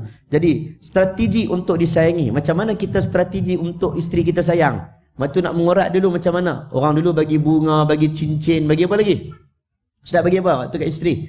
Coklat. Bagi? Doa. Oh, ya Allah. Dahsyat. Dahsyat. kita nak bagi girlfriend kita suka kan? Kita pun ada benda bagi. Bagi, lah ni bagi churros. Beli life. Beli life. Beli life nak bagi sayang. Teknik. Nak sayang anak juga ada stra strategi. Nabi sallallahu alaihi wasallam, Nabi sallallahu alaihi wasallam dia kata dia sebut perkataan ini. Allahumma inni uhibbuhu fa ahibbah. Orang tanya bila Nabi balik daripada musafir, Nabi dengan Abdullah bin Ja'far. Abdullah bin Ja'far anak Ja'far bin Abi Talib, ahli baik Nabi, keluarga Nabi. Balik-balik Nabi dukung cucu Nabi. Sahabat Nabi tengok, sahabat Nabi kata, oh, sayang betul kat cucu. Nabi kata, kuat-kuat dekat anak dia dengar, dekat cucu dia dengar, dekat semua orang. Allahumma ini, ya Allah, aku mencintai anak ini. Dan aku minta untuk dia dicintai. Kamu semua kena cinta dengan anak ini. Dia cakap dekat Hussein, betul tu. Kena cinta, cinta. Kita cinta susah nak sebut, betul? Abah sayang kamu. Abah doakan semoga kamu disayangi oleh umat. Jumpa balik-balik. Kita selalu sebut dah I love you. Anak mungkin sebut lah. Isteri jarang kita sebut. Malu. Balik. Ini uhibbuka ya Syekh. Kawan pun Nabi ajar untuk sebut. Sebutlah kepada orang yang kamu suka. Aku mencintai kamu. Menyukai kamu. Sahabat Nabi akan jumpa. Akan, akan cakap ini hubbuk. Aku mencintai kamu. Itu satu teras kasih sayang. Yang dilafazkan. Bukan saja dipendam dalam hati. Dilafazkan. Bukti Nabi ajar. Baik tuan-tuan, saya mulakan dengan lepas daripada episod ni saya bagi laju. Saya nampak gaya bagi saya 10 minit untuk saya bagi pantas lagi untuk kita buka sesi soal jawab. Minta maaf eh, sampai 10 setengah dah. Saya dah cerita tentang lepas kelahiran, saya nak cerita bawah 4 tahun. Syekh Jamal Abdul Rahman dia bahagi-bahagi peringkat umur. Peringkat-peringkat umur. Ha? Uh, parenting ni kalau boleh tu 2-3 hari tak habis. Tapi kita cerita secepat yang mungkin. Saya cuba bagi saya 10 minit insyaAllah. Eh. Baik, yang pertama 4 tahun ke bawah. 4 tahun ke bawah utamakan deria rasa. Ini orang psikologi lebih tahu. Cerita tentang didik anak ni, cerita ni sepatutnya duduk kat depan ni adalah psikologis. Psikologis. Dan juga orang yang ajar pendidikan awal kanak-kanak, dia lebih tahu. Ustaz, kita cuba relate Quran dengan hadis. Relate saja. Cerita tentang pensejarahan yang berlaku. Tapi nak bagi tepat adalah psikologi. Orang yang duduk bidang kaunseling, dia lebih tahu sebenarnya, lebih alim daripada saya. Sebab cara mendidik itu berbe berbeza. Ada beza-bezanya. Kalau tidak Nabi tak pergi Taif, Taif tempat orang lemah lembut. Sebab apa Nabi pergi dakwah Taif dulu? Apa beza Madinah dengan Mekah? Tonton pergi balik umrah, seronok balik Mekah ke seronok balik Madinah? Tetapi umrah pergi haji, seronok duduk Mekah ke seronok duduk Madinah? Ha? Tak tapi lagi ha? Kalau tanya orang kebanyakannya kebanyakan jawab seronok duduk Madi Madinah. Ada beza ada orang duduk Madinah? Ada beza. Ada beza ada orang duduk rumah kawasan geografi rumah hanya rumah hanya rumah yang flat. Ada beza? Ada beza. Tak sempat hari ini. Isu sosial saya tak nak sebut. Isu sosial berbeza. Minta maaf kampung nelayan di Penang. Saya duduk Penang, saya jadi cikgu, saya jadi ustaz dekat sekolah. Anak nelayan isu berbeza. Sempadan Thailand dekat negara dekat negeri Kedah belah Changlun isu berbeza. Pil kuda tak ada dekat belah-belah Kedah, yang ada ketum, isu ketum. Belah Kelantan isu pil kuda. Belah Felda isu dadah ganja dan sebagainya. Tuan jangan main-main. Isu berbeza. Tuan ceramah dekat sekolah. Sekolah dekat tengah town. Dekat pavilion. Jalan apa? Jalan pil. Jalan apa semua tuan. Ha. Cikgu cakap. Cikgu tu pernah pergi satu Malaysia. Dia kata dekat sekolah ni ustaz. Zero vandalism. Zero vandalism. Maksudnya tak ada berlaku vandalisme dalam sekolah-sekolah tengah bandar. Sebab dia dah terdedah dengan dunia yang penuh dengan CCTV. Dunia yang penuh tak merosakkan barang-barang awam. Tapi kalau kat kampung, habis meja-meja kursi rosak. Hmm. Oh, ada cerita berbeza? Ada cerita. Isu dekat kawasan, dekat dekat Felda lain. Tuan-tuan, isu berbeza. Tuan-tuan duduk kawasan ni mungkin isu sosial yang berbeza. Saya tak tahu. Ada percampuran tak dengan orang luar? Kawasan kilang ataupun tidak? Kawasan mak ayah kerja ataupun tidak? PPR ada sini, PPR ada PPR. Ha? Ada isu dia. Eh? Ha, saya nak cerita pun negatif-negatif tak naklah hari ni buang masa aja. Hari lain cerita negatif. Takut, takut dengar. Sebab kadang-kadang orang tak ingat, orang orang duk rasa macam tak ada apa-apa. Isu kewangan main peranan. Dulu kena bakar Mahat Tafiz. Mahat Tafiz kat mana? Mahat Tafiz dekat Keramat, betul? Mati 20 orang, kan? 20 orang mati, budak Tafiz kena bakar. Cek-cek. Tengok-tengok kena bakar dengan budak budak sekolah. Cek-cek dalam senarai budak sekolah tu ada yang tak bekerja. Ah, tak bekerja, tak bersekolah. Saya pelik. Macam mana boleh tak sekolah? Pendidikan ni hak semua orang. Orang Rohingya pun orang buat sekolah tau. Mak ayah tak boleh kerja, kena bagi pendidikan juga. Anak sex workers, anak penagih dadah, ada sekolah dekat Coket. Bagi, bagi. Sekolah tak ada, tak ada pendidikan bahaya sekolah. Bahaya, bahaya. Kena bagi pendidikan. Saya tanya. Kenapa cikgu? Uh, peraturan sekolah macam mana? Dia cakap peraturan sekolah ustaz. Kalau mana-mana pelajar kena buang sekolah, dia merayu, sekolah wajib terima. Ini peraturan KPM. Dia merayu, sekolah wajib terima. Tapi macam mana dia tak datang sekolah? Dia tak bersekolah. Maksudnya, dia tidak merayu. Dia tidak merayu. Jadi kita pun tanya lah, cek-cek balik. Mak dia, kita kan suka membawa. Mak dia teruk lah, apa lah, yang teruk. Macam-macam lah. Pergi cek-cek tengok-tengok tuan-tuan. Bukan isu mak dia teruk. Pagi mak dia meniaga nasi lemak. Tengah hari mak dia jadi cashier dekat shopping komplek. Malam mak dia jadi guard. Suami entah ke mana. Suami tinggal ke mana. Suami ambil dadah. Suami balik pukul saja. Satu rumah 17 orang. Entah mah. Satu rumah 10 orang. Satu rumah belah-belah orang. Umur 17 tahun. Umur 14, 16 tahun. Tingkatan 4. Salin baju depan abang ipar. Satu rumah. Hmm. Macam mana kita nak cerita tentang rumah kena asing-asing bilik cerita tentang Nabi? Ustaz, kami tak cukup Ustaz. Anak saya dah kahwin, dia tak ada rumah, dia kena tumpang rumah saya. Akhirnya duduk, tuan-tuan. Isunya tengok-tengok bukan isu kecil-kecil, bukan teramah saja. Rupanya dia ada kaitan dengan ni. Kita cerita bank patuh syariah. Eh, takaful patuh syariah. Kita lupa cerita rumah patuh syariah. Akhirnya anak-anak tak duduk kat rumah, anak-anak tidur dekat kawasan parking motosikal. Pagi petang siang malam kat parking motosikal, betul? Kita beli TV cantik-cantik nak bagi anak kita duduk rumah. Anak kita tak perlukan TV sebab dia ada, ada TV. Kita boleh bagi handphone tapi kita tak ada limited dalam memberikan handphone. Anak nak iPhone, iPhone kita bagi. Bagi Nokia cukup. Limit, limitasi, limitasi tak ada. Tonton, ini ini ada kaitan. Yang ni ada kaitan, ada kaitan ni. Duit ringgit ada kaitan. Apatah lagi kalau tidak ada proses dalam ru dalam rumah. Okey, 4 tahun ke bawah, tengok tubuh badan dia. Banyak pergerakan. Tuan-tuan boleh follow Instagram Syekh Muzaffar. Bagus. Syekh Muzaffar macam mana dia didik anak dia. Pergerakan banyak pergerakan. Sebab tu Nabi main kuda dengan cucu Nabi. Nabi main kuda Nabi buat kuda. Buat kuda bawa cucu kat belakang. Kita bawa cucu pergi main game kuda Nabi buat cucu duduk belakang ni Orang tanya, Umar kata, siap beruntunglah kamu dapat kuda yang baik. Nabi kata jangan tengok pada kuda, tengok pada penunggang kuda. Dia akan jadi penunggang kuda yang baik. Ayahnya lebih baik. Akhirnya siapa dia? Hasan dan Husain penunggang kuda yang hebat. Dia boleh bawa kuda daripada bawah perut kuda. Ha, anak kita kalau hebat sangat merempit suruh bawa motor bawah motor. Ha, hebat tak hebatnya eh. Jadi tubuh badan, pergerakan, jogging sekali, lari sekali, bawa pergi pi mandi swimming pool ke tak pergi-pergi tuan-tuan. Sebab tu Nabi sebut suruh memanah, suruh me, memanah, apa lagi? Berenang, satu lagi? Memanah, berenang, berkuda. Orang kata tu ustaz tu suka sunnah. Ha. Tapi tuan-tuan, hakikatnya hari ini tu bukan suka sunnah, tu sukan eksklusif mahal. Betul tak? Nak mana nak mahal. Rupanya sebagai ulama ada ada sebahagian dia, dia bincang hadis ini status hadis ini tapi saya nak sebut bukan nabi nak ajar naik kuda nabi nak ajar balancing fokus anak main dad. Kan? Saya baru ni sembang dengan Mawi. Mawi Mawi dalam rumah dia dulu dia beli snooker tak snooker?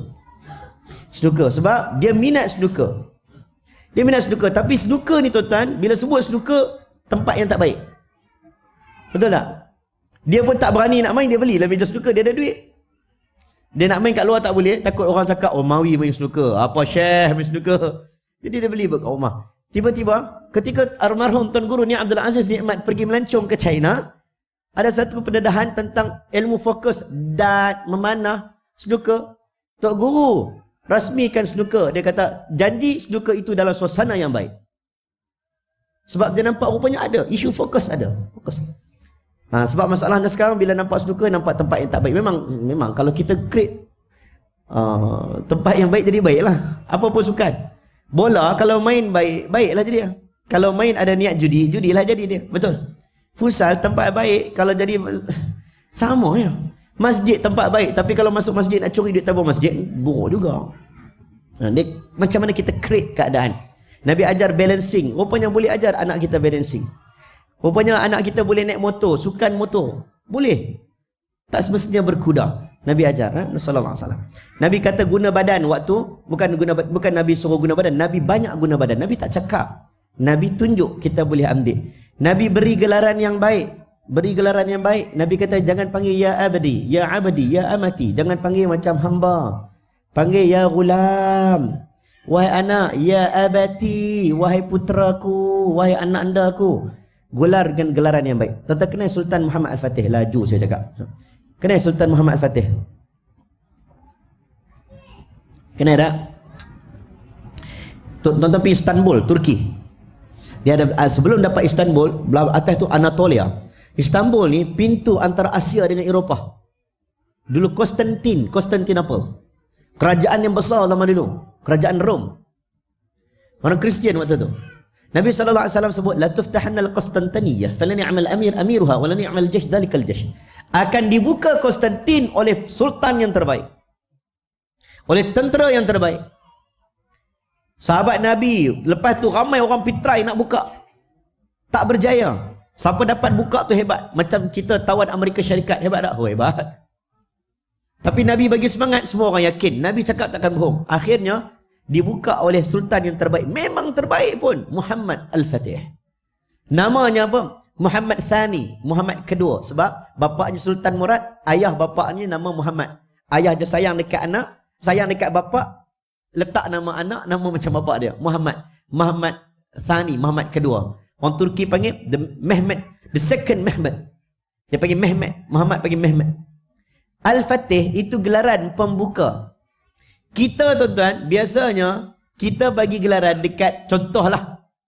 Bekas Perdana Menteri kita bagi gelaran lepas dah pencin. Lepas merdeka Tun Abdul Rahman, bapa kemerdekaan, betul tak? Abdul Rahman, Abdul Rahman, Abdul Razak, bapa pembangunan. Pembangunan lepas pencin baru letak bapa pembangunan. Lepas tu Hussein On, bapa perpaduan. Dia ada gelaran-gelaran lepas tu lepas tu lepas tu lepas tu apa dia? Al-Fatih Muhammad Al-Fatih bila bapa dia gelar dia bukan lepas dia buka Konstantin dia buka Konstantinopel umur 20 tahun 20 tahun lebih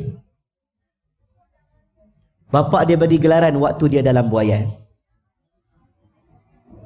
Waktu tu bapak dia duduk.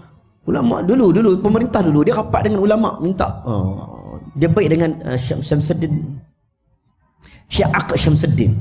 Dia baik, Syiak ni penasihat raja. Dia tanya Syiak, adakah aku yang membenarkan hadis Nabi tentang Latuf Tahad al-Qustantin yang akan buka Qustantin? Aku ke? Syiak ni kata, aku tak tahu benda ni benda yang Nabi pun tak cerita detail. Kan? Tapi dia kata, aku rasa bayi bayi dalam buayan itu akan buka. Anak engkau akan buka. Dia punya rasa. Bapak dia ni, dia pemerintah besar, dia boleh buat keputusan. Tapi ada ketika dia minta deria rasa. Macam kita lah nak pilih calon, mak tolong tengok sat sampai tak tahu nak buat calon. Sebab terlalu ramai girlfriend. Mak tak tahu. Mak tolong tengok sat mana satu. Bapak dia, siapa ni? Aku ke? Tak, anak dalam buayan. Mulai hari ini, aku memberi gelaran untuk anakku. Alfa, Al-Fatih. Al-Fatih, Al-Fatih. Wahai pembuka, pembuka. Waktu kecil lagi. Akhirnya doanya makbul. Makbul tak? Makbul tak jadi pembuka Konstantin? Makbul. Doa mak jangan mah. Jangan main. Oh, mak. Mak jangan sebut ikut suka no. Jangan sebut ikut suka. T, t, ni baru ni main masyari. Masyari. Al-Fasi. Ya, Al-Fasi. Ya. Masyari. Kalau Syekh Sudais, Imam Masjidil Haram. Kenapa tak Syekh Sudais, Imam Masjidil Haram? ليس البر أن تولوا وجوهكم قبل المشرق والمغرب ولكن البر من آمن tak boleh lah suara dia kena sengar lagi Syekh tu, Syekh Sudais orang baca Quran, orang dengar, orang menangis dia cerita pengalaman dia waktu kecil-kecil dia macam kita lah juga nakai nakai, mak dia geram mak dia marah dia, mak dia kata apa idhab ja'alakallahu imaman lil haramain mak dia sumpah dia punya geram ke anak ni nakai, mak dia sumpah. Idhab, keluar engkau daripada rumah ni. Ku sumpah engkau jadi imam masjidil haram. Jadi sungguh. Ha. Kita sumpah jadi batu. Orang sumpah jadi BMW. jadi sungguh. Berkat doa. Eh? Berkat doa. Mulut, lidah, lidah. Eh? Sahabat uh, sepupu saya. Sepupu saya. Anak dia mengaji macam-macam tak boleh. Mengaji macam-macam tak boleh. Dia minat anak dia bidang apa. Atau dia minat macam uh, bidang arts ni. Anak tak boleh. Mak dia kata, hei tak larat lah hang ni. Dia kata. Cakap bahasa ni hang sopi mengaji tak mau mengaji. Cakap bahasa ni tak faham. Aku cakap bahasa Jerman baru faham. Hari ni anak dia ambil bidang bahasa Jerman kat ATM. Cakap Jerman. Mak selalu sebut cakap Jerman baru faham kot. Cakap tak apa. Jadi cukup. Berkat mak dengan mainnya. Okey, beri galaran. Kemudian ajar kalimah la ilaha illallah. Di mana-mana la ilallah. Siapa bagi makan? Allah. Siapa bagi rezeki? Allah.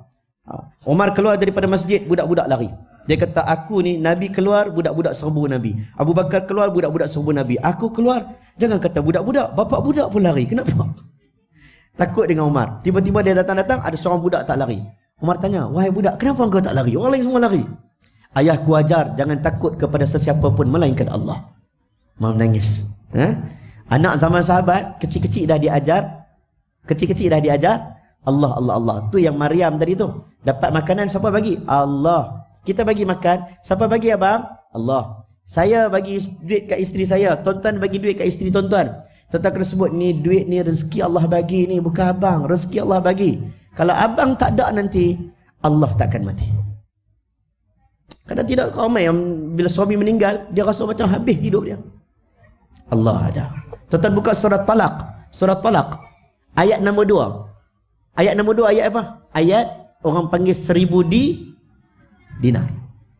Tak tahu daripada mana datang seribu dinar tu. Tetapi, وَمَنْ يَتَّقِ اللَّهِ جَعَلْ لَهُ مَخْرَجًا وَيَرْزُقْهُ مِنْ حَيْثُ لَا يَحْتَسِبْ Ulama bincang, kenapa ayat ini ada pada ayat nombor dua surah talak? Tak ada kena mengena pun. Tak ada kena mengena. Imam Syaukani kata, Allah letak dekat ayat nombor dua. Sebab Allah nak bagi tahu berapa ramai orang wanita yang ditalak, yang berpisah kematian suami dan sebagainya, dia rasa rezekinya habis. Allah letak tengah-tengah. Ha, jadi kita bagi rezeki, kena sebut Allah, Allah, Allah. Ni waktu bawah 4, tak? 4 tahun. Baik, laju sikit. Selepas 4 tahun, sebelum daripada 7 tahun, utamakan mata anak-anak, belum lagi telinga. Utamakan mata anak-anak, belum lagi telinga. Apa maksud mata? Anak sedang memerhati kita. Anak 4 tahun hingga 6 tahun hingga 7 tahun. Waktu itu Syekh Jamal Abdul Rahman menyebut, dia sedang tengok kita. Dia akan tiru cara kita semayang. Kalau kita semayang, bapa jenis semayang pakai kain pelekat saja. Tak pakai baju.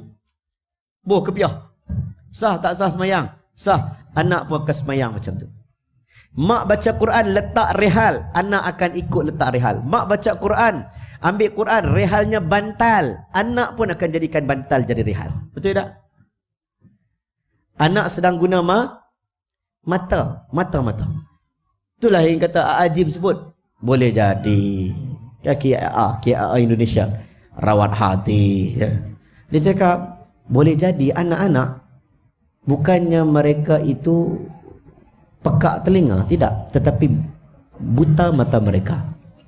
Mak duk sebut sembahyang dia tak pekak tapi dia buta sebab dia tidak melihat ayahnya sembahyang. Sebab itu umur 4 tahun ke atas sampai umur 7 tahun banyak tunjuk. Tunjuk kita buat macam mana dia akan nampak. Banyak tunjuk. Nabi sallallahu alaihi wasallam ada ketikanya Nabi suka main tunjuk lidah dengan mata satu dengan dengan main mata Orang psikologi hari ini tunjuk antara benda yang utama bila baby sampai dia nak dewasa, warna yang dia mudah capture hitam dan juga merah.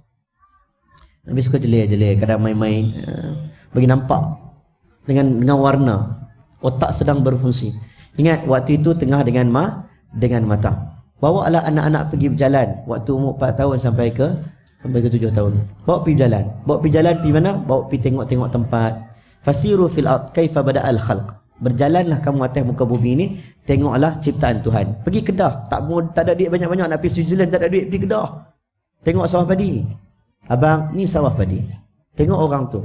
Ajar dia tentang tengok pak cik tu buat sawah. Dia bukan orang susah, dia orang kaya, kaya jiwa. Kalau dia tak ada, kita tak makan nasi. Bawa tengok cleaner. Tengok makcik tu tolong sapu. Kalau makcik tu tak ada, kotor semua tempat. Makcik tu sangat baik.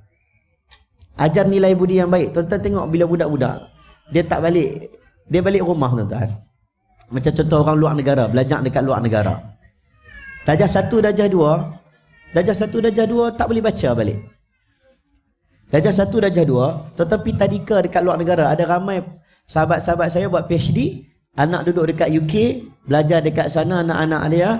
Balik mai, anak-anak dia stres masuk sekolah. Takut. Takut. Sebab apa takut? Sekolah tu macam benda yang menakutkan bagi dia. Bila bunyi loceng, pelajar-pelajar lari keluar pada sekolah. Macam, belakang tu ada rimau. Dia kat sana, Abah nak pergi sekolah, Abah nak pergi sekolah. Seronok nak pergi sekolah.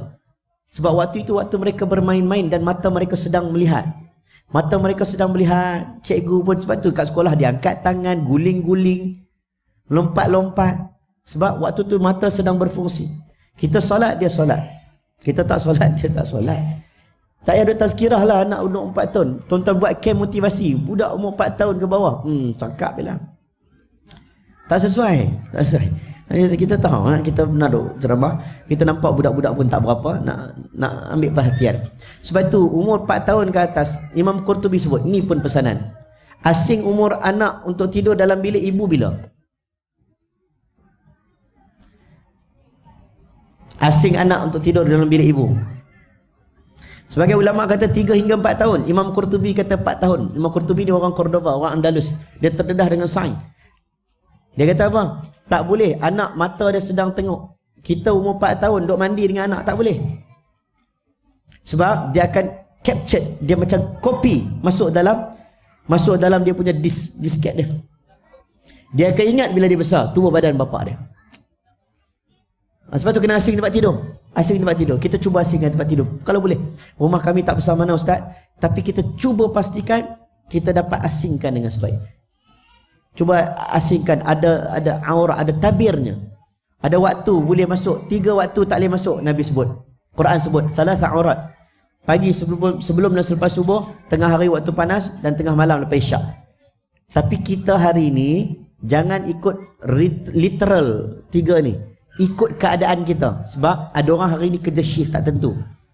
Apa maksud tiga waktu ni? Waktu pagi kita sedang tidur. Tak tahu pakaian kita macam mana. Ada ketikanya kita sedang bersama dengan pasangan kita maka anak tak boleh masuk. Kena minta izin. Anak saya saya suruh minta izin. Apa bagi masuk? Minta izin. Boleh dia faham? Dia dah masuk tujuh tahun. Sebab tujuh tahun saya akan cerita tujuh tahun bukan mata tujuh tahun telinga. Tujuh tahun kita boleh bagi instruction. Cakap abang, abang kena begini, begini, begini. Oh, waktu tu.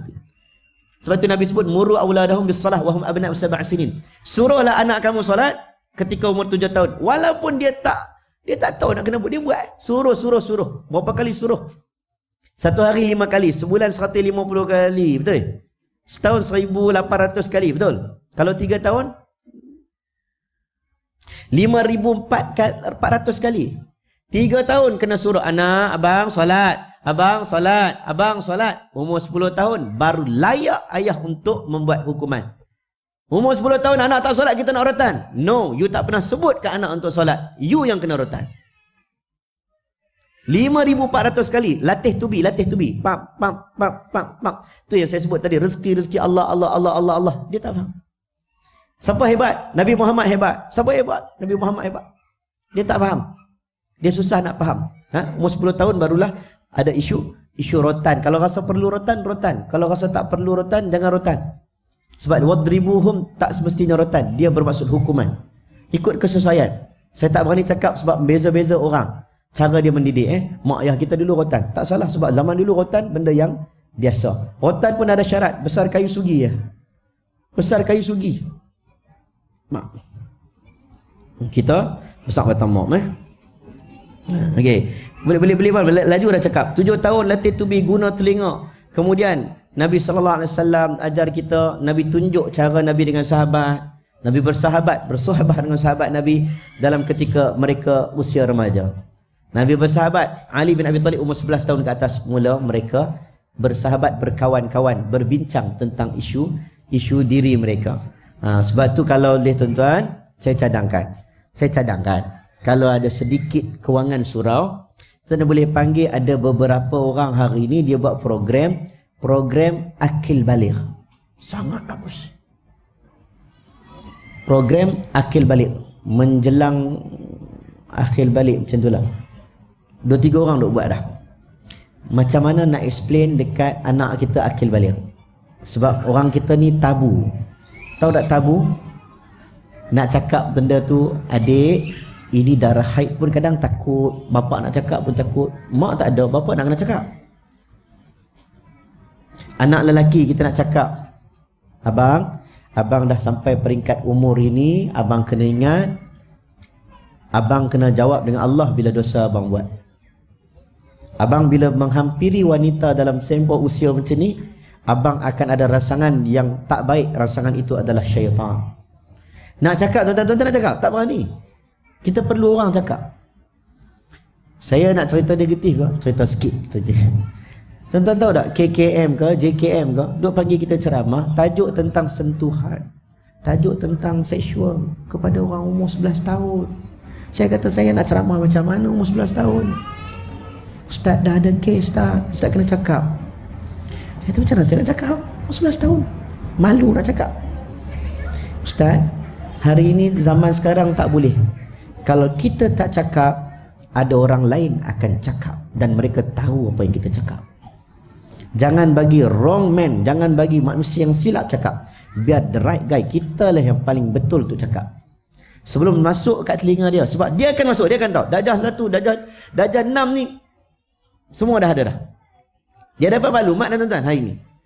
hmm. Macam mana saya nak ceramah? Ajar sentuhan. Sentuhan apa? Seorang lelaki, guru lelaki menyentuh. Menyentuh anak murid. Sentuh itu sentuh kasih seorang guru ke sentuh yang berbeza. Kena cakap. Oh, berat. Saya tak kat kamar budak-budak, saya tak pegang dah ni. Tak pegang. Kecuali mak dia ke, terlalu kecil, ah, bolehlah usap kepala sikit. Mai darjah lima, darjah enam, kadang mereka ingat dia pun oh, okey. Bukan tak boleh tuan-tuan. Macam-macam fitnah boleh berlaku. Zaman sekarang. Sebab tu kita ingat kita tidak tapi sebenarnya benda ini berla berlaku. Minta maaf sebut negatif juga lagi satu. Kes rogol dalam rumah sangat-sangat ting tinggi. Yang masuk dalam paper tu sampai hamil, yang tak hamil bah sangat banyak. Kes rogol dalam rumah. Saya sebut rogol dalam rumah terlalu tinggi. Macam mana kita nak kawal? Kita kena kawal ruang rumah kita insya-Allah. Boleh tuan-tuan, saya buka soal jawab 5 minit lagi ya Allah Akbar. Banyak benda, banyak benda isu tentang kekeluargaan yang kita nak kupas tapi takut tak sem sempat. Yang mana sempat kita cuba, cuba, cuba lah no. Boleh tuan, boleh eh? Boleh, boleh puan. Boleh ya? Pukul sebelah nak kena habis tu. Aduh. Eh. eh. Ada apa-apa nak tanya? Silakan. Ha. Tuan takut ke dengan saya? Ha? Segan, segan ke? Saya bukanlah pandai sangat. Kita semua bukan pandai tuan-tuan, betul tak? yang uh, penganjur periwanis pun tak pandai sangat. Imam muda asyraf pun tak pandai. Pengurusi tak pandai. Imam pun tak pandai. Kita pun ada nak nak cakap pandai-pandai pun takut. Betul tak? Takut. Tapi kita cuba. Kita datang niat nak berubah. Nak jadi ayah yang terbaik insyaallah. Ya ibu. Ibu terima kasih. Ya. Assalamualaikum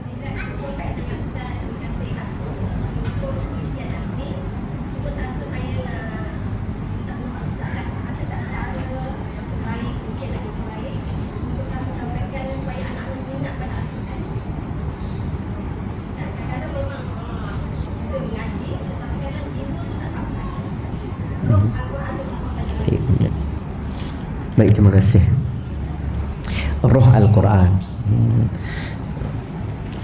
Buat benda ni yang tadi saya sebut tadi tu, waktu tengah mengandung baca Quran itu benda asas. Itu benda tu kita pun cakap, Ustaz, dah terlepas dah Ustaz, dah beranak dah.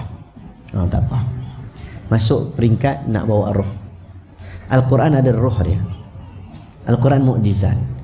Tuan-tuan tak faham pun boleh menangis. Setuju? Okay. First sebelum roh. Sebelum roh Yang ni benda wajib saya sebut lah. Saya wajib sebut. Saya rasa kalau dia ni tak ada Tak jadi. Seramah 2 jam kau 3 jam kau tak jadi. Semua kena berjanji dengan saya. Cik janji dengan saya. Ikra Saya harap. Tiga tempat doa makbul. Hafiz Kan mana-mana saya akan kempen. Saya nak pastikan macam mana kita dulu kempen satu rumah, satu komputer. Kan? kita pernah kempen dulu kan? Hari ni saya nak kempen. Satu rumah kena ada mihrab. Mih? Mihrab. Okey. Mihrab apa maksud mihrab? Orang nampak mihrab ni mihrab. Betul? Tempat tu imam. Yang ini mimbar. Betul? Mihrab tempat tu imam. Zaman Nabi Muhammad tidak ada mihrab. Ada yang kecil saja. Tak ada macam ni. Zaman Umar Abdul Aziz baru ada mihrab.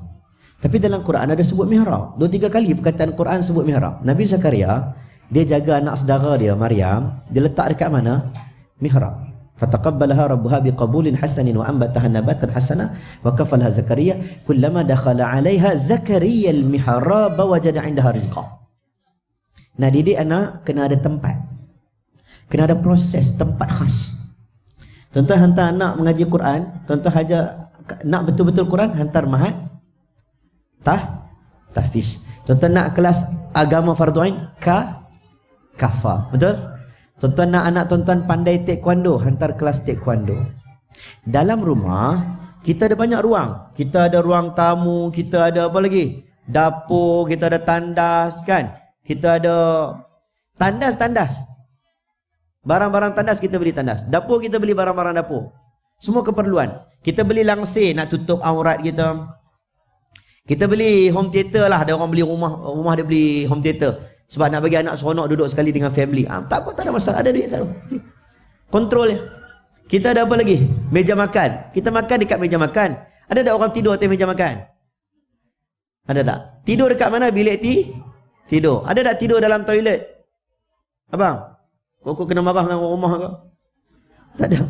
Tidur dekat bilik tidur. Makan dekat tempat makan. Dapur-dapur. Khas. Semua tempat ada tempat khas. Sayang, sayang. Dalam rumah kita tidak ada mihrab. Tak ada. Apa mihrab? Tempat khas kita dengan Allah Subhanahu Taala. Tempat khas untuk didik anak-anak. Tempat khas untuk proses keluarga kita dapat cahaya hidayah. Tak ada. Nabi Zakaria tak khas, tempat khas. Proses. Waktu Nabi Zakaria, dia teringin anak salihah. Ya Allah, hunalika da'a Zakaria rabbah. Qala rabbi habli min ladunka dhurriyatan tayyibah. Anak ni kecil-kecil dah salihah. Aku teringin anak ya Allah. Dia pernah doa sampai menangis-nangis. Mak ni doa dia ada dua. Ayah doa ada dua. Kita ni doa ada dua. Ada doa kadang-kadang kita sebut dengan kuat-kuat, betul? Ya Allah, ampun dosa kami ya Allah. Ada ketika kita doa dalam keadaan pelan. Betul. Ada ketika tak bunyi langsung bila sangat-sangat mendalam. Idnada rabbahu nidaan khafiyya. Kami doa tak bunyi ya Allah. Perlahan Nabi Zakaria. Sebab dia tak ada anak. Qala rabbi inni wa hanal azmu minni wa ishta'ala ar-ra'su shayba wa lam akun bi du'aika rabbi shaqiyya. Ya Allah, tulangku dah reput, rambutku dah beruban. Aku tak ada anak, Ya Allah. Tapi aku takkan henti doa kepada engkau. Takkan penat, kata Nabi Zakaria. Allah pun seronok tengok dia doa. Allah pun kata kat Nabi Zakaria. Ya Zakaria, inna nubashiruka bi ghulamin ismuhu Yahya. Lam naj'al lahu min qabl samia. Dia bagi anak nama Yah, Yahya. Cek balik dalam sejarah. Bukan Nabi Zakaria seorang doa. Nabi Zakaria dan istrinya yang mandul itu berdoa. Dan dalam Quran sebut, di mana mereka berdoa? Ketika mereka sedang berdoa, malaikat datang, malaikat sampaikan berita. Kata, kamu dah dapat anak, akan dapat anak. Jadi ulama tengok di mana mereka berdoa. Fanadatul malaikatu wa huwa qaimun yusalli fil mihrab. Ketika mereka solat dan doa dalam mihrab. Contohlah mihrab kat sini. Isteri semayang kat rumah contoh jarang datang surau sebab anak kena jaga. Di situlah tempat solat, di situlah tempat baca Quran, di situlah tempat baca hadis. Suami rumah dekat dengan masjid, dia nak buat qabliyah dan ba'diyah macam Nabi buat dekat rumah. Kalau rumah jauh tu pergi masjid awal lah. Tapi rumah dekat nak buat qabliyah ba'diyah, semayang tahajud, semayang witir, semayang duha. Di situ tempat khas dia. Itu nama mihrab. Sini makbul doa. Terutama doa berkenaan dengan ibu ayah, dengan anak-anak. Ini kita tak ada. Oh, jadi saya dah tadi kata kan semua nak janji dengan saya kan. Boleh tak kita buat ceramah 2 jam 3 jam? Kalau yang ni tak ada tak jadi. Boleh tak balik ni kita ada mihrab? Boleh. Boleh periwani sekalian? Periwani periwani ni pri ni pri pri apa? Pria. Boleh tak? Kita usahakan. Ustaz rumah kami tak besar mana Ustaz? Rumah kami rumah flat. Tapi percayalah Rumah Nabi dengan rumah kita Rumah Nabi lebih kecil. Nabi tak suruh pun ikut rumah macam rumah Nabi. You duduk Minangkabau Minangkabau lah. You rumah macam Doraemon Ada sliding tu Silakan jepun You kutub utara ada iglu Silakan. Nabi tak suruh Architecture rumah Nabi Ikut macam rumah Nabi Tak. Tapi cara hidupkan rumah Ikut aku ada mihrab kena ada. Nabi solat dekat mana? Katil Aisyah. Aisyah, di mana Nabi solat? Tempat sujud Nabi adalah katilku. Menunjukkan rumah Nabi lebih sempit pada rumah kita. Tapi di situ mihrab, tempat Nabi bertahan, tempat Nabi berkhulwah dengan Allah. Kalau boleh kita, kalau boleh lah. Kalau puan tadi tanya macam mana Quran, first kali lokasi yang baik. Kenapa kita ada pejabat? Sebab untuk apa? Lokasi apa? Working place yang baik betul? Kenapa kita ada pejabat? Sebab working place untuk bos pantau tengok buat kerja ada sistemnya ada printernya. Sebab lokasi. Rumah kita nak didik takkan tak ada lokasi. Takkan tak ada lokasi yang baik. First kali. Bila dah ada sini di sini tak Quran sini tak hadis saya berani jamin baca hadis pun dah berkah. Al-Qa'nabi Abdullah bin Baslamah masuk jadi seorang perawi hadis paling thiqah dalam mazhab Malik. Dengan satu hadis dia gangster, dia buat jamu makan, dia buat jamu minum Nabi. Nabi ni macam arak tapi tak macam arak. Dia panggil geng-geng minum, tiba-tiba datang lagi Syu'bah. Syu'bah ni umam hadis besar. Orang tak berani jumpa, dia pergi jumpa Syu'bah. Dia pegang Syu'bah. Syu'bah bagi hadis dekat aku. Syu'bah kata aku tak kenal kau. Dia kata tak tak, hang kena bagi hadis dekat aku. Kalau hang tak bagi kat aku, aku jarah tu, aku cederakan kau. Allah bagi ilham. Kita kata didik ni kadang-kadang Allah bagi ilham, minta Allah bagi hikmah. Alam nashrah laka sadrak wa wada'na anka wizrak. Rabbi shrah li sadri wa yassir li amri. Baca banyak-banyak. Nabi Musa pun minta, Rabbi shrah li ya Allah, bagi buka dada nak cakap dengan Firaun. Anak kita kita nak cakap pun kita tak baca. Ya Allah, bagi ada hikmah. Kadang-kadang kita sebut tu perkataan tu dia lupa. Banyak kali ulang lupa. Ada perkataan kita sebut sekali sampai mati dia ingat. Betul? Ada dah nasihat cikgu kita dulu, kita sekolah rendah. Dia nasihat kita sekolah rendah sampai hari ni kita ingat. Saya ada. Dia nasihat dulu hari ni banyak benda dia nasihat tapi tak ingat. Ada dua tiga benda. Hikmah nak dapat tu, nak dapat tarbiyah, didik, sebut satu perkataan orang ingat. Allah Akbar. Saya nak sebut tuan nak dapat hikmah macam mana Abdullah bin Maslamah jumpa dengan Syu'bah Allah bagi dekat dia dalam ribuan hadis dia hafal tiba-tiba orang tanya hadis dia sampaikan fa illam tastahi fasna' ma syi'ta kalau engkau tak ada perasaan malu engkau akan buat apa yang kau buat. Itu hadis.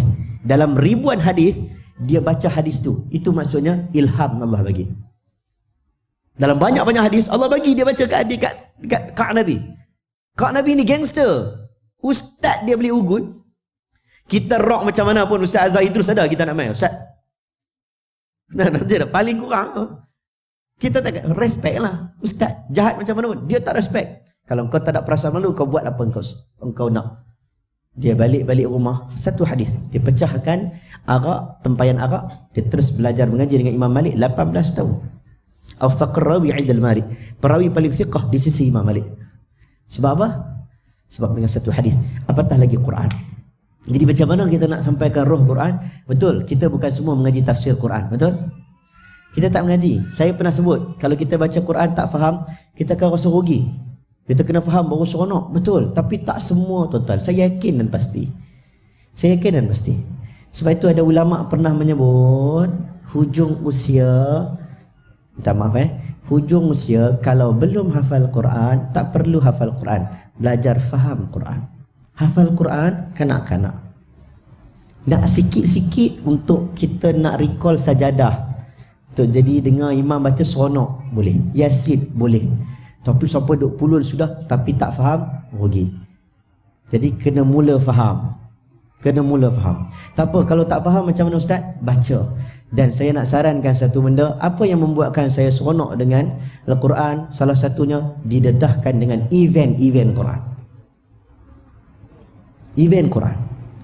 Saya berani jamin, Tafiz muda yang datang itu, sembilan orang tu, bukan ada sembilan orang, saya dua tahun jadi host, lapan orang, semua belajar Quran bukan mak Tafiz, dengan mak. Mak. Tuan-tuan pergi musabakah, musabakah negeri negeri Selangor ke tuan-tuan pergi, mesti ada dia panggil keluarga Quran. Ada seorang Ustaz Syafi'i ya. Keluarga dia kalau masuk, Allah anak dia masuk. Mesti menang. Kak Penang, keluarga Tamimi ada seorang. Keluarga dia semuanya hafiz Quran. Tetapi setiap negeri ada keluarga keluarga tahfiz. Dia ada keluarga. Bawa pergi. Duduk sekali. Dan salah satu yang membuatkan waktu dulu kita hafal Quran waktu kecil adalah kerana Quran itu diperhiaskan dengan suara yang lunak. Tu masyari mai. Bawa lah anak. Bawa anak tu masyari masyari mai saya tak tahu lah ah, kita berbeza ayah saya tak baca Quran tapi ayah saya duk bawa saya tengok dulu waktu tu ada satu imam daripada Thailand jadi imam dekat masjid negeri Penang Quran dia baca sedap ayah saya kata oh imam ni hebat dia tak baca muqaddam dia baca Quran ayah saya dia tak tahu muqaddam dengan Quran sama dulu tak tahu oh ada orang hafal Quran semua tu abah nak hang jadi macam dia pi dia buat apa saja Quran bi? Tak boleh baca Quran. Ayah saya dulu geng tablik duduk, ayah pergi duduk sekali. Saya tahu ayah saya tak boleh baca. Bila main dekat giliran ni ayah saya buat-buat kalau, buat-buat kalau api tanah. Saya tahu dah tik-tik ayah saya ni. Hari ni dia boleh baca Quran. Dia usaha sungguh-sungguh. Tapi saya nak sebut salah satu yang buat kita suka ialah musabaqah dia bawa. Event Quran dia bawa. Dulu zaman keset, keset dulu, keset kan.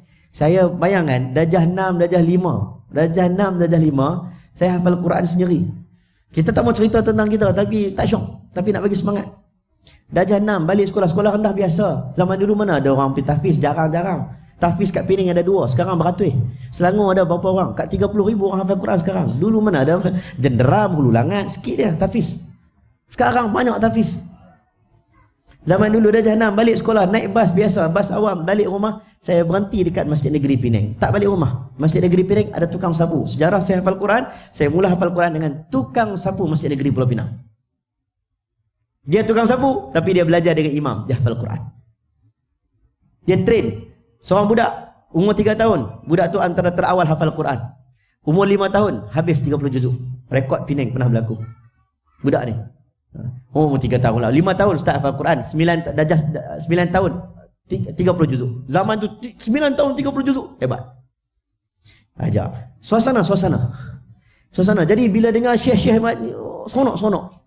Balik rumah, bapak beli keset. Suruh abah beli keset. Keset kosong kan? Keset dulu kosong. Bayang tuan, kita sekolah rendah dulu bukan ada internet, bukan ada astro. Tidur malam pukul berapa? Lepas makan malam, tidur lah. Sepuluh, pukul satu bangun, setiap kali bulan Ramadan, TV satu akan pasang Imam Masjidil Haram. Sekarang tiap-tiap waktu nak masuk, dah ada dah. Rugi kalau tak ambil kesempatan. Dulu pukul satu bangun, mak tengah tidur, ayah tengah tidur. Ambil radio, letak, letak keset, tekan pause, tekan record. Ingat lagi dulu? Nak record bacaan daripada Susah esok dapat. Tapi dengan seronok kori-kori ni, seronok kori. Sebab itu bukan saja-saja Nabi sebut, Zayyinul Quran Nabi Aswatikum. Hiasilah Quran dengan suara indah kamu. Dia datang cinta dan minat. Nah, jadi kita kena banyak. Kita pun dulu, eh, Huzaifi, tiru Huzaifi, seronok. Rupanya dia bagi kita kegembiraan. Sahabat Nabi dia cakap biasa. Tapi bila dia mengaji Quran, suara sedap. Macam Datuk Siti lah kalau cakap biasa aja. Mana gimana saya ni? Hmm. Tapi bila dia menyanyi, lagi sedap pada dia cakap. Sebab dia perindahkan. Quran kena kita baca dengan indah. Sebab tu saya nak sebut Quran ni tuan-tuan, uh, Muhammad Duki Fadil satu pengarang buku nama The Glorious Meaning of Quran. Orang putih, dia buat kajian muzik dalam Quran. Irama dalam Quran. Dia buat kajian dia kata, jangan sebutlah tentang Quran punya mukjizat. Banyak. Al-Hayah 145 kali sama dengan perkataan Al-Maut 145 kali. As-Sayyad 167 kali sama dengan perkataan buruk uh, Sayyad dengan al uh, Perkataan buruk sayyiat dengan hasanat dengan perkataan baik sama banyak 167 kali. Dalam Quran Al-Bardun sejuk 4 kali, panas 4 kali sama banyak dalam Quran. Dalam Quran ni macam-macam mukjizat, tapi dia buat kajian apa? Kajian muzik dalam Quran. Bagi orang yang tak faham, saya orang putih dia kata. Saya orang putih, saya tak faham Quran, tapi saya pandai dalam muzik. Kan kita ada pakar muzik. Orang tu tahu lagu mana bagi tidur, lagu mana bagi orang semangat, lagu patriotik macam mana. Dia pakar muzik, dia buat kajian, dia kata apa? Quran ni mustahil kata manusia biasa. Mustahil mulut Nabi. Quran adalah mukjizat. Kata Allah. Sebab apa dia cakap macam tu? Mustahil Nabi tengah tidur bangun-bangun Nabi boleh baca ayat Quran dengan begitu enak macam rima yang sedap. والضحى والليل إذا سجى ما ودعك ربك وما قلى قلى آية والنازعات غرقا والناشطات نشطا والسابحات سبحا فالسابقات سبقا فالمدبرات أمرا إذا وقعت الواقعة ليس لوقعتها كاذبة خافضة رافعة عما يتساءلون عن النبأ العظيم أنت القرآن أنت القرآن روح دي Siapa cakap punya sedap, kita tak baca. Saya tak buat lagu pun saya rasa. Nabi ni bukan penyajak. Nabi bukan pensyair. Kita lain lah. Duduk sikit, fras sikit, duduk tepi sungai. Tangkap gambar, tulis saja masuk Facebook. kita lain. Tapi penyajak. Tapi sedap. Dia punya Quran. Sebab tu dengan Zayinu, Zayinu Quran. InsyaAllah. Saya nak cerita banyak kaedah banyak. Dengan program datang-datang. Suasana imam datang. Minta maaf. Minta maaf cakap. Sini tarawih imam tempatan ataupun imam luar. Imam sini. Imam sini dia baca malam-malam baca apa? Baca surah ke baca ayat hafazan? Baca surah. Okey, sekali sekala, sekali sekala panggil imam yang bacaan sedap. Sebab ni sunnah. Tarawih sunnah. Semayang semayang mayat tak payah panggil imam baca sedap. Panggil anak, panggil anak. Sebab semayang mayat untuk doa bukan baca Quran. Betul? Semayang terawih Umar dia tak lantik orang biasa Dia lantik Tamim Ad-Dari Ubay bin Ka'ab Orang paling sedap baca Sebab nak dengar Bagi minat Bagi minat Lantik so. Saya ingat saya Perkembangan tahfiz yang berlaku pada hari ini di Malaysia Banyaknya datang dari sebab Imam Tarawih Daripada tahfiz Kita import dulu Patani Kita import dulu mai. Saya dulu mengaji Kelantan dulu Panggil mai sampai ke KL Dulu. Saya mengaji Kelantan dulu kena ke KL. Duduk sebulan. Hari ni, anak-anak kita pergi mengaji, Orang tempatan anak kita pula jadi imam. Tak payah panggil orang luar. Sebab anak tempatan dah boleh baca sedap-sedap. Dulu saya tazkirah. Saya ingat 2010-2011. Jadi imam muda. Kalau saya tazkirah tarawih. Ustaz tazkirah lepas witir. Ataupun lepas lapan. Ataupun lepas empat. Contoh. Dia mesti akan sebut. Ustaz. Ustaz. Dia pernah dengar suara Ustaz. Ustaz jadi imam no, lepas empat. Ustaz jadi imam witir. Dulu. Sekarang tuan-tuan saya berani cakap. Dalam setahun dua tahun ni, saya tazkirah Ramadan, saya datang. Saya kata, tak payah saya jadi imam. Imam tarawih hari ni, semua sedap-sedap. Perkembangan Quran. Perkembangan Quran. Bagus, dia bagi kita minat. Eh? InsyaAllah. Tentang roh nak baca semua tu, saya rasa mungkin tak sempat. Cukup lah, suka-suka. Cukup tuan-tuan. Okay, good. Okay kah? Nak pergi Nurian? Kan ada soalan? Bapak ada soalan? Bapak last. Panjang contoh pasal Quran. Ada? Alhamdulillah Bapak-bapak dah faham? InsyaAllah eh? eh? Luqman bapa eh? Doa minta anak soleh Rabbi habili minas salihin Ibrahim bapa Betul? Imran bapa Betul? Doa anak rajin semayang Rabbi ja'alni muqimus salah Min dhuriyati rabbana wa taqabbal doa Siapa? Bapa Betul tak? Dalam Quran pasal bapa didik anak sangat bah, banyak. Ha? Tentang Nabi ni tuan-tuan, Alhamdulillah. Nabi Muhammad, kalau kita dakwah, dia tak sama macam Jesus. Jesus tak sempat bernikah. Nabi Isa AS tak sempat bernikah. Orang tak boleh cerita tentang isteri Nabi Isa. Kita boleh cerita isteri Nabi. Orang susah nak cerita anak Nabi. Anak Nabi mereka. Anak Nabi kita boleh cerita walaupun ada hikmah Allah jadikan enam orang anak Nabi meninggal depan mata Nabi. Nabi waktu Nabi wafat yang ada seorang saja Fatimah. Yang lain semua meninggal. Ada hikmah. Kebanyakan anak laki Nabi meninggal waktu kecil. Ada hikmah. Hmm? kita belajar belajar lagi insyaAllah. Ada kesempatan lain kita datang kita buat perubahan impian untuk menjadi ayah yang terbaik insyaAllah. Ha? kita minta ampun lah untuk dosa-dosa mak ayah kita yang banyak mendidik kita. Dia orang tak ada kelas parenting dulu. Kan? Tak ada lah motivasi-motivasi tak ada. Tapi mereka inilah yang yang sangat memahami kita. Berterus sabar dengan perangai kita. Sabar. Kita tak sabar dengan anak. Geram, bising sangat bagi iPad lega. Nanti tak? Nanti saya pun kadang macam tu lah. Waduh tak tahu nak bagi apa bagi iPad. Ini tak betul. Umur 2 tahun bawah jangan bagi iPad. Dua tahun ke bawah jangan bagi handphone langsung. Langsung, langsung. Ha, tiga tahun ke atas tak apa. Dua tahun ke bawah jangan bagi. Dia tak bagus untuk uh, perkembangan minda. Boleh jadi cacat. Ya? Dua tahun ke bawah jangan bagilah langsung. Lagi bagi masa, disiplin. Bagi bateri, beli handphone yang cepat habis bateri. kalau tuan-tuan pergi ada kelas, kelas khas bergajar macam mana nak menguruskan gadget. Ha, handphone cepat habis bateri. Jangan cah waktu malam lah. Macam-macam lah. Ada cara dia. Buat jadual. Masuk dekat tempat meja makan. Tak boleh letak dekat meja makan. Macam-macam. Hari ni saya harap satu benda yang kita dapat amalkan. InsyaAllah. Saya ingat yang ni wajib kot. Boleh tak? Boleh eh? Tak bersama nak ambil ruang sejadah. Ruang sejadah. Terung sejadah. Terus situ. Kalau tidak cerita Gaza, Palestin. Nonton tengok Gaza, Palestin. Budak-budak kecil ya. Sanggup mati syait. Oh macam mana budak kecil mati syait. Orang robohkan rumah. Tak lari. Tak lari. Israel datang ambil pokok zaitun. Pokok zaitun ni pendapatan mereka. Tak lari, duduk kat rumah. Mai pula bulldozer. Bulldozer datang, hempap. Habis rapat rumah. Tak lari. Ui, hebat tak lari. Umur 11 tahun, umur 12 tahun. 13 tahun. Kanak-kanak hebat duduk kat depan. Macam mana hebat macam ni? Tanya mak. Kebanyakan orang Palestin ini, kebanyakan mereka ada mihrab. Kadang-kadang meja makan mereka mihrab.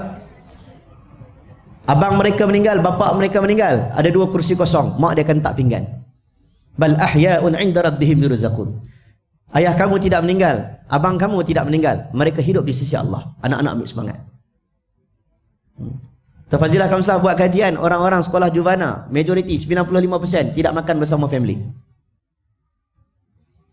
95% tidak makan bersama family. Sebab itu makan dalam Islam bukan diam. Makan dalam Islam cakap. Yahudi dan Nasrani makan diam. Islam cakap. Macam mana cara cakap? Sebut pujian makanan. Nak bincang tentang agama waktu makan. Nak bincang tentang family waktu makan. Kita waktu makan. Dulu orang makan dalam dalam ha, tepi dulang lah. Dalam dulang pelik pula. Tepi. Adalah. Makan berjemaah. Makan bersama. Al-jamaah. Kullu jamaah barakah. Setiap jemaah adalah barakah.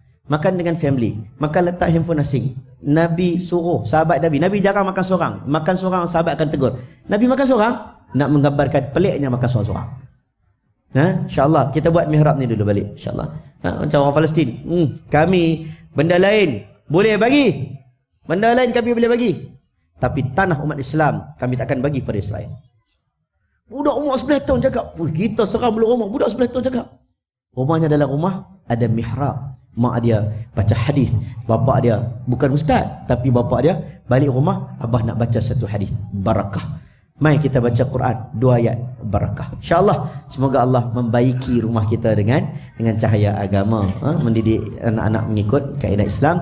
Boleh panggil lagi ustaz-ustaz lain macam saya sebut tentang akil balik tu untuk tambah lagi. Dia seronok. Sebab benda paling detail dalam Quran adalah tentang family. Sangat penting. Cerita-cerita Nabi, semua cerita Nabi, bukan semua, majoriti cerita Nabi pasal family. Betul? Adam pasal family. Betul? Adam, Idris, Nuh, Nuh family. Nabi Ayub family, Yakub family, Ishak family. Kebanyakan family. Adalah yang tak family. Nabi Yunus ikan. Ada yang tak family tapi majoriti cerita family. Cerita paling best Nabi Yusuf family. Semua family. Family ni sangat penting barulah menjadi tokoh hebat. Dan kita doa tambah di belakang Rabbana hablana min azwajina. Itu kita hafal kan? Rabbana hablana min azwajina wa dhurriyyatina qurrata ayun waj'alna lil muttaqina imama. Ini semua orang hafal doa ni saya nak pesan satu, belakang tu jangan lupa. Waj'alna lil muttaqina imama. Kita doa kena bagi faham. Ya Allah, Rabbana hablana bagi anak-anak yang baik, pasangan yang baik, yang menyejukkan mata. Jangan habis kat situ. Anak-anak yang rajin semayang, anak-anak yang soleh solehah. Jangan habis kat itu. Kena ada di belakang. Waj'alna lil muttaqina imama. Kena faham apa maksud di belakang itu. Apa dia? Waj'alna lil muttaqina imama. Jadikan kami pemimpin orang-orang bertakwa. Kita duk doa anak kita jadi anak soleh. Tapi anak kita tak jadi bos, anak kita jadi hamba. Kita minta anak kita jadi anak soleh, anak orang baik. Tapi hari ini kita tak menjadi tuan, kita menjadi hanya hamba. Kita mengekori orang, kita tak ada kekuatan, tak boleh menjadi pemimpin besar. Jadi kat masyarakat kita tak boleh jiwa pemimpin, kita tak tak strong. Tak strong. Abdullah bin Amrul As strong sampai Afrika, Nigeria, Algeria, Morocco, Tunisia, Libya, Mesir, dia kuasai. Kuasa politik pemerintahan yang hebat sebab dia ada kepimpinan. Anak kita tak ada kepimpinan. Kepi kat pejabat tu. Suruh bentang kata kerja. Present paper tak jadi. Akhirnya bisnes tak dapat. Sebab tak ada kepimpinan. Saleh dan juga kepimpinan kepimpinan yang baik. Wallahu alam yang baik datang daripada Allah, yang lemah daripada diri saya sendiri. Hakikatnya dua-dua daripada Allah Subhanahu taala. Minta ampun, minta maaf, berlaku terkasar bahasa, terkurang tak kena. Semoga Allah mengampuni dosa kita semua. A'udzubillahi minasyaitonir rajim. Bismillahirrahmanirrahim. Alhamdulillahirabbil alamin. Salatu wassalamu ala asyrafil anbiya'i wal mursalin wa ala alihi washabihi ajmain. Ighfir lana dhunubana wa liwalidina warhamhum kama rabbawna shighara. Ya Allah Tuhan kami ampun dosa kami, ampun dosa kedua ibu dan ayah kami. Kasihanilah mak ayah kami seperti mana mereka mengasihani kami sewaktu kami kecil ya Allah.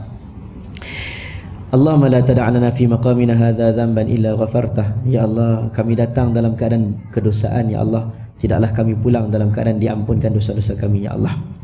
Wala maridan illa syafaitah. Ada yang datang pada hari ini ya Allah dalam sakit-sakit ya Allah, tidaklah yang datang ini pulang dalam diberikan kesembuhan olehmu ya Allah. Wala wala mayyitan illa rahimtah. Tidaklah kami satu hari nanti akan bertemu dengan kematian melainkan kematian kami dalam keadaan diberikan kasih sayang dan pengampunan ya Allah. Ya Allah wala dainan illa adaita ada yang datang dibebani hutang piutang ya Allah maka engkau mudahkanlah hutang piutang mereka diselesaikan ya Allah. Wala maridan illa syafata wala hajatan min hawaijid dunya wal akhirati illa qadaita bisarta ya rabbal alamin. Ada yang datang ya Allah dengan hajat dan keinginan ya Allah. Maka kau jadikanlah ya Allah hajat-hajat kami yang keluar daripada surau ini ya Allah dimakbulkan didengarkan didengari olehmu ya Allah.